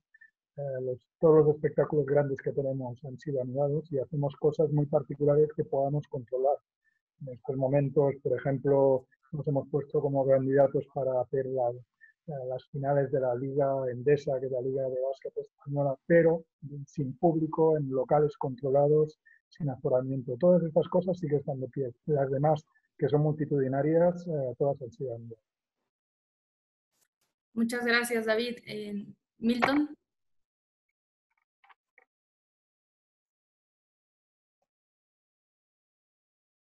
Milton, ¿me escuchas? Bueno, creo que hemos perdido la conexión con Milton, pero vamos a proceder a la siguiente pregunta, que va dirigida... Ay, Milton. Este, lo que te decía es de que eh, no hay fecha todavía prevista para la reiniciación de actividades económicas y sociales. Y lo que sí se está concientizando a la gente es en la primera fase, en aquella del distanciamiento social, eh, cuestiones sanitarias, uso de mascarillas, confinamiento de personas eh, conflictivas de mayor edad y, esperamos que, que, muy pronto la curva esta de contagio vaya aplanándose para que las autoridades tomen la decisión de abrir algunas eh, actividades. Por lo pronto están cerradas las oficinas, se hace teletrabajo en las que pueden y se espera que pronto se integren a, todas las actividades las personas que sean económicamente activas. En la construcción hay problemas porque los operarios todavía no cuentan con los, eh, con los eh, insumos de protección individual y el entrenamiento necesario como para que puedan eh, entrar a laborar sin, sin problemas. Eso les puedo. Eso es todo. Muchas gracias, Milton. Eh, la siguiente pregunta es para Carlos Santillán y nos la hace llegar Roberto Llamas de España. Y dice, me gustaría saber en qué países se ha eliminado o reducido el control de los tiempos de conducción de los conductores de vehículos pesados sin descanso por el COVID-19 y cómo ha afectado a la accidentabilidad, si es que se conoce el dato. Es decir, si se ha aumentado los tiempos de conducción permitidos hasta antes de la crisis. Eh, bueno, gracias por la pregunta. Y bueno, en el caso de México, voy a empezar por el caso de México, eh, no, no ha habido ningún cambio. Realmente es una medida que en, buena forma la, la, toman las propias empresas. Eh, hay una gran diversidad de empresas dedicadas a la logística, algunas muy competitivas y muy, este, muy avanzadas y, otras más, más modestas que, que a lo mejor no siguen estos lineamientos. No hay una supervisión a fondo de, que esto ocurre en las autopistas y en las carreteras en general. Entonces, no, no hay ningún cambio, eh, contestando la pregunta, en México. Y además, eh, nuestro colega portugués que está en línea, gracias, eh, manda esto que, que traduje yo con Google el, este, del portugués al español, porque no hablo portugués. Dice, que sí hay una exención temporal en Portugal del 22 de abril del 2020 hasta el 31 de mayo, mayo del 2020 aplicable a los conductores involucrados en la distribución de mercancías en todo el territorio portugués, excepción del artículo 6, párrafo 1, reemplazo del límite diario de conducción de 9 horas a 1 de 11 horas eh, en cada periodo de dos semanas consecutivas, el conductor debe disfrutar de al menos de un periodo de descanso semanal regular y un periodo de descanso semanal reducido de al menos 24 horas. Esta reducción no tiene que ser compensada. Y otra excepción es el conductor puede disfrutar del periodo de descanso semanal regular en la cabina siempre que el vehículo esté estacionado de forma segura y tenga las condiciones adecuadas para dicho descanso. Esta derogación temporal de las normas refleja las circunstancias excepcionales derivadas del COVID-19. Gracias a nuestro colega de Portugal que nos manda ese, esa información. No, no tengo noticia de otros países. Si alguien quiere comentar, bienvenido. Bueno, entonces muchas gracias, Carlos. Gracias al colega portugués por compartirnos su, su comentario. Vamos a pasar a la séptima pregunta que va dirigida nuevamente a Carlos Santillán y viene de Emanuela Stocchi de Italia. Dice, en Italia las concesionarias de autopistas no están cobrando peaje de la parte a los médicos y a todo el personal sanitario que trabaja en los hospitales y ambulatorios. ¿Tienen ustedes también medidas parecidas? Eh, gracias. Hola, Emanuela. ¿Qué tal? Este, no, no tenemos ninguna medida adicional a lo que ya está previsto para algunas agencias de gobierno como el ejército, como la policía no hay nada adicional a lo que ya está previsto. Muchas gracias, Carlos. La siguiente pregunta viene de parte de México, de Clemente Pun, y va dirigida a Ana Luz. Y dice así, ¿cuál es la opinión de reducir el uso de vehículos, pero que en vez del vehículo tendrán que usar los transportes masivos? ¿Eso no genera mayor probabilidad de contagio que usar su propio vehículo?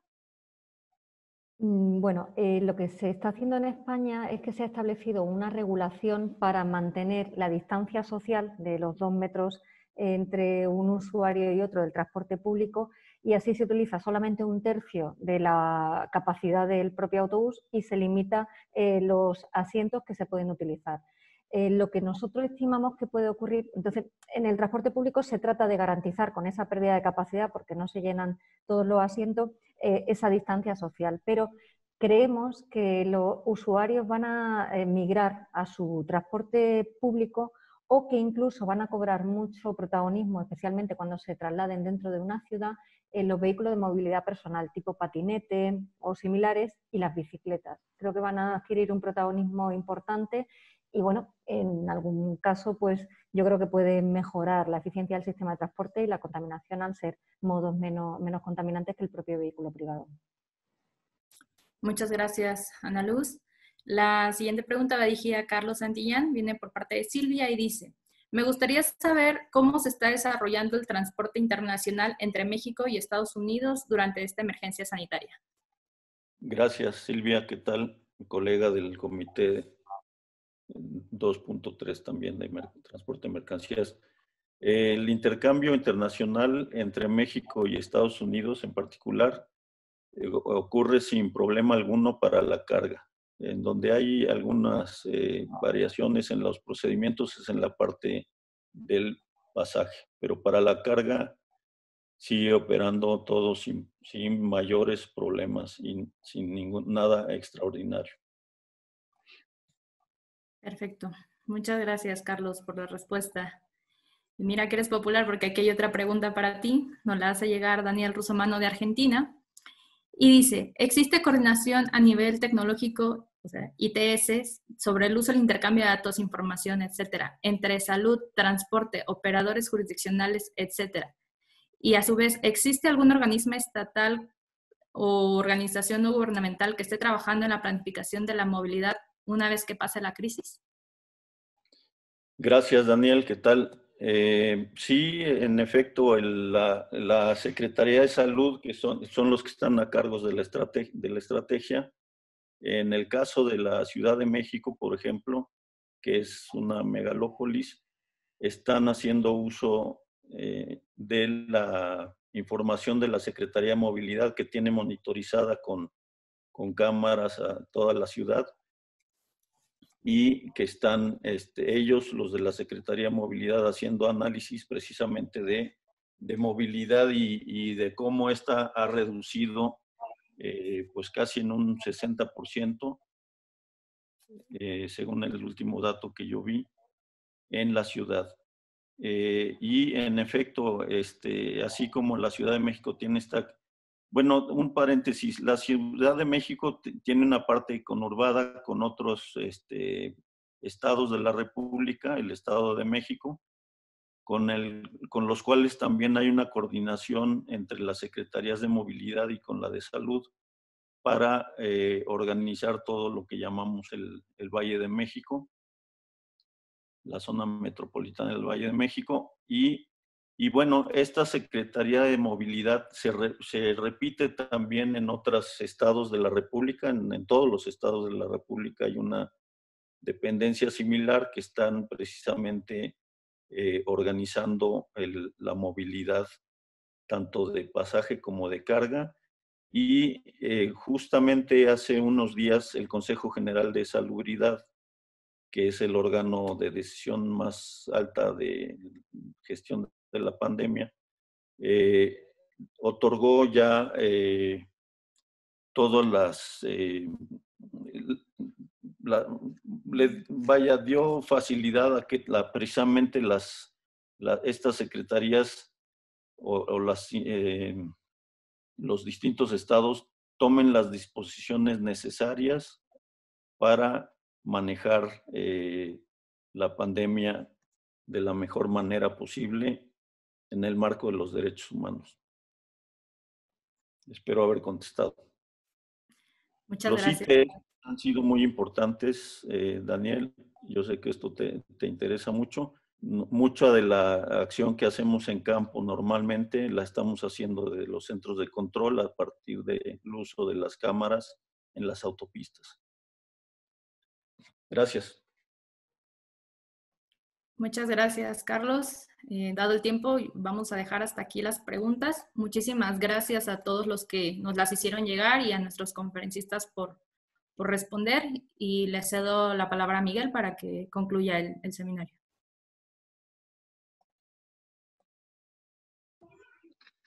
Muchas gracias a todos los participantes a la sesión. Muchas gracias a, a Verónica por moderar. Vamos a pasar a la siguiente, al siguiente punto, que son las conclusiones del seminario. Las va a hacer eh, José Manuel Blanco y nos las acaba de enviar eh, por email, así que voy a recuperarlas para eh, ponerlas en la pantalla. Ahí espero que las estéis viendo y José Manuel, por favor, cuando quieras. Hola de nuevo a todos. Eh, la siguiente, por favor.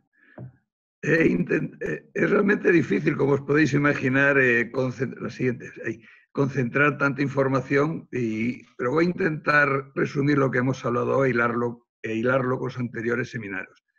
Comenzando por Andorra, pues David nos ha contado la importancia que tiene reaccionar rápido, pensar en todos los aspectos, pensar en las personas, ser optimistas y aprovechar las nuevas oportunidades que van a venir. Yo estoy viendo que cada vez más estamos pensando más en el futuro, aunque por supuesto hay países que lo están pasando muy mal. Esto es un factor importante. Eh, nos ha contado la rápida reacción inicial, la reapertura en tres fases es el objetivo, su confianza en recuperación en una U esperada para el 2021 es mágico, todos queremos que pase pronto el 2020. Y como durante la crisis, la Sociedad Solidaria Andorrana, que yo también la conozco, que también he ido allí muchas veces a esquiar, eh, los test voluntarios masivos, las medidas en materia de seguridad social, de protección laboral, fiscal, bancaria. También allí se ha visto la reducción del transporte público, también se ha visto ahí la importancia de los medios tecnológicos, de las redes sociales, cada vez más presentes, eh, y también del afrontar juntos sector público y privado la crisis económica y de aprovechar esto para impulsar la mejora y racionalización de la movilidad peatón, bicicleta, transporte público, el papel del vehículo privado y las mercancías. Estoy con algunas preguntas que se han hecho y es la gran pregunta que se está haciendo que además en todos los seminarios.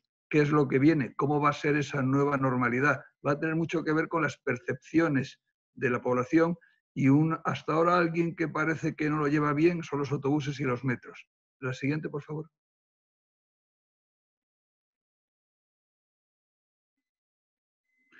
México.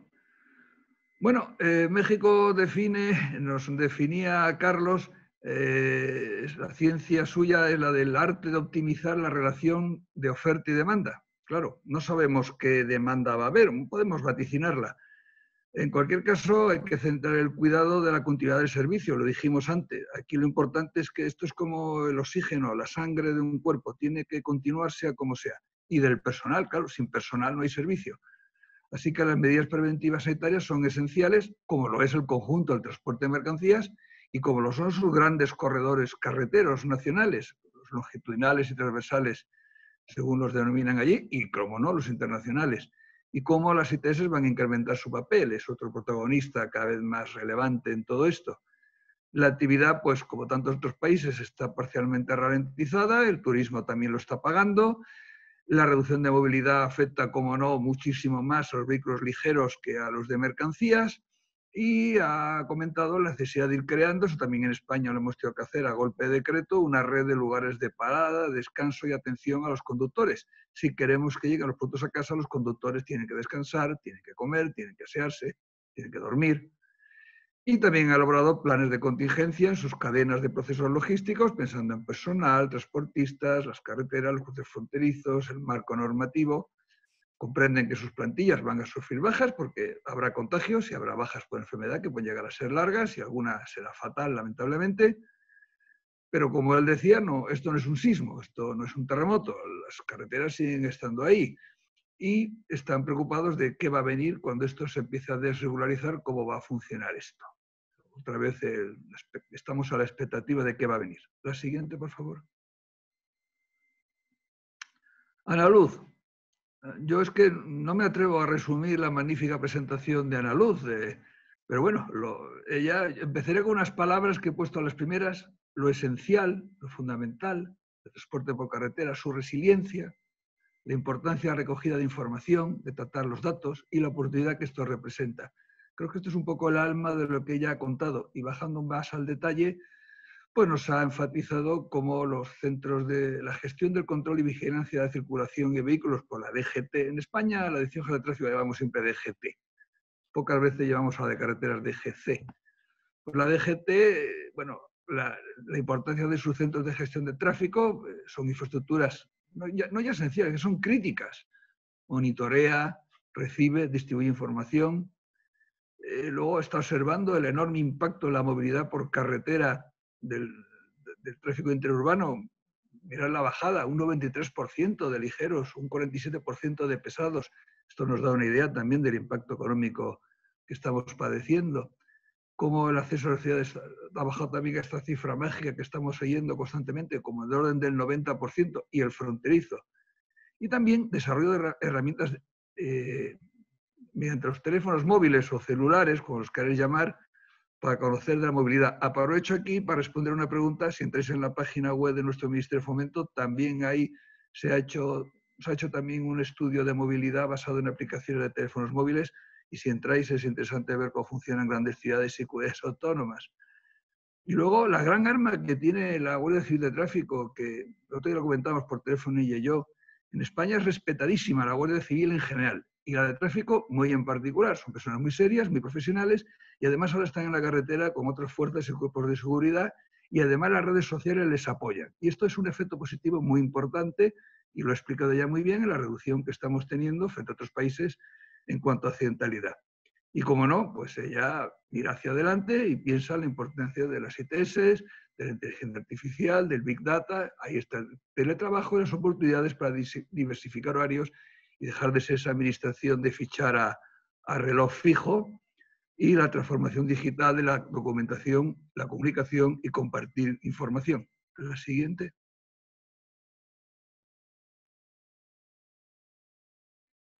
Estados Unidos.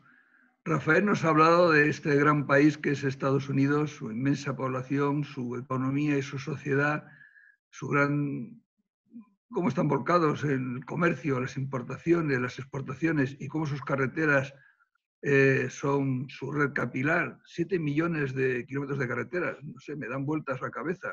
Una vuelta completa a la Tierra son 40.000, estos son muchas vueltas a la Tierra. Y es su principal modo de transporte de personas y de mercancías. La pandemia está avanzando, también ellos se plantean cómo ir reaccionando ante ella, evitando, intentando evitar que no se colasen los sistemas los impactos y oportunidades en su cadena de suministro, lo ha resumido en shock, ruptura, vulnerabilidad. también piensa que su exceso eficacia, no han pensado a lo mejor los stocks de productos, también el efecto, también ha pasado en otros países en la recaudación de los impuestos, el incremento, también como en tantos otros países, de la venta online, el aspecto especial de los materiales médicos demandados por el interior y por el exterior y el material que ha de ser importado, perspectivas, en eso coincide bastante con lo que por ahí se está viendo internacionalmente. Luego que algunos estados están aprovechando esta intensidad baja de tráfico para hacer obras de carreteras, eso también se ha escuchado en otros seminarios, por ejemplo, obras que son muy complicadas en grandes ciudades, son posibilidades de ellas, es el momento de hacerlas antes de que todo el mundo vuelva o casi todo el mundo vuelva. Ha hablado del efecto látigo, de la que distorsiona, también que ha pasado en España en algunos momentos, que distorsiona la cadena logística y también nos ha hablado de la bajada de accidentalidad y mortalidad. La siguiente, por favor. Y también nos ha hablado de perspectivas e incertidumbres, de inyecciones financieras, de la confianza en que las cosas se reactiven pronto, de que no está claro que hayamos llegado al pico, el temor siempre está ahí, como Bélgica nos habló también en su momento de su sistema sanitario, y lo complejo que es coordinar un país tan grande, tan variado, con gobernadores, ayuntamientos y políticos de diferentes planteamientos, pero al final siempre volvemos a lo mismo, que el transporte de mercancías es resiliente por su forma de operar y que un punto débil son los puntos de almacén y entrega de mercancías. La siguiente.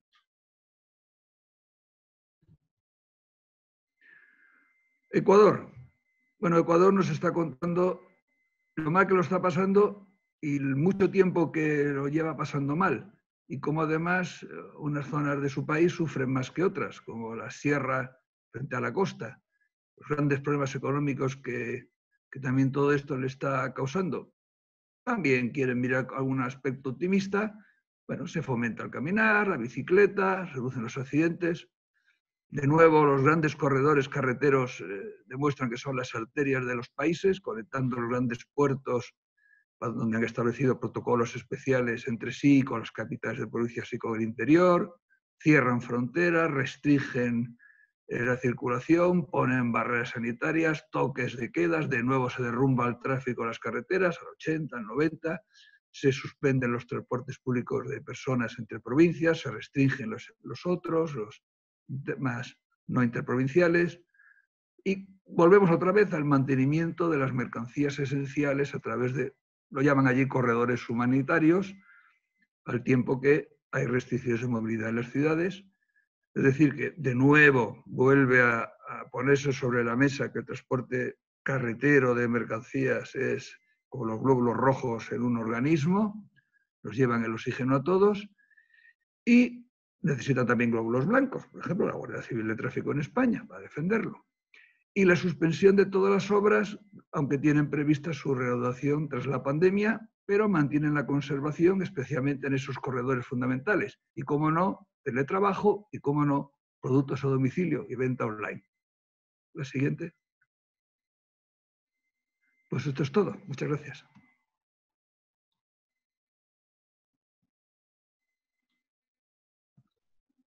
Muchas gracias, eh, José Manuel,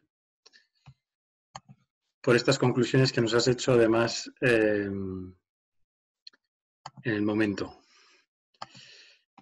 Bien, pues eh, con estas conclusiones hemos llegado al, final del seminario. Muchísimas gracias a, los ponentes, a, a, Verónica, que nos ha apoyado, a Marina, que también está aquí atrás apoyándonos, y a todos los participantes que habéis estado hoy aquí escuchándonos. Tal y como hicimos la última vez, pues eh, nos vemos poco, eh, ojalá fuera de Pascos a Ramos, y bueno, si os apetece podemos eh, encender la cámara todos, encender los micrófonos, saludarnos, o el que no quiera se puede ir tranquilamente. Y como hicimos la otra vez, esta parte ya no, no será grabada. Muchas gracias de nuevo por participar en este seminario.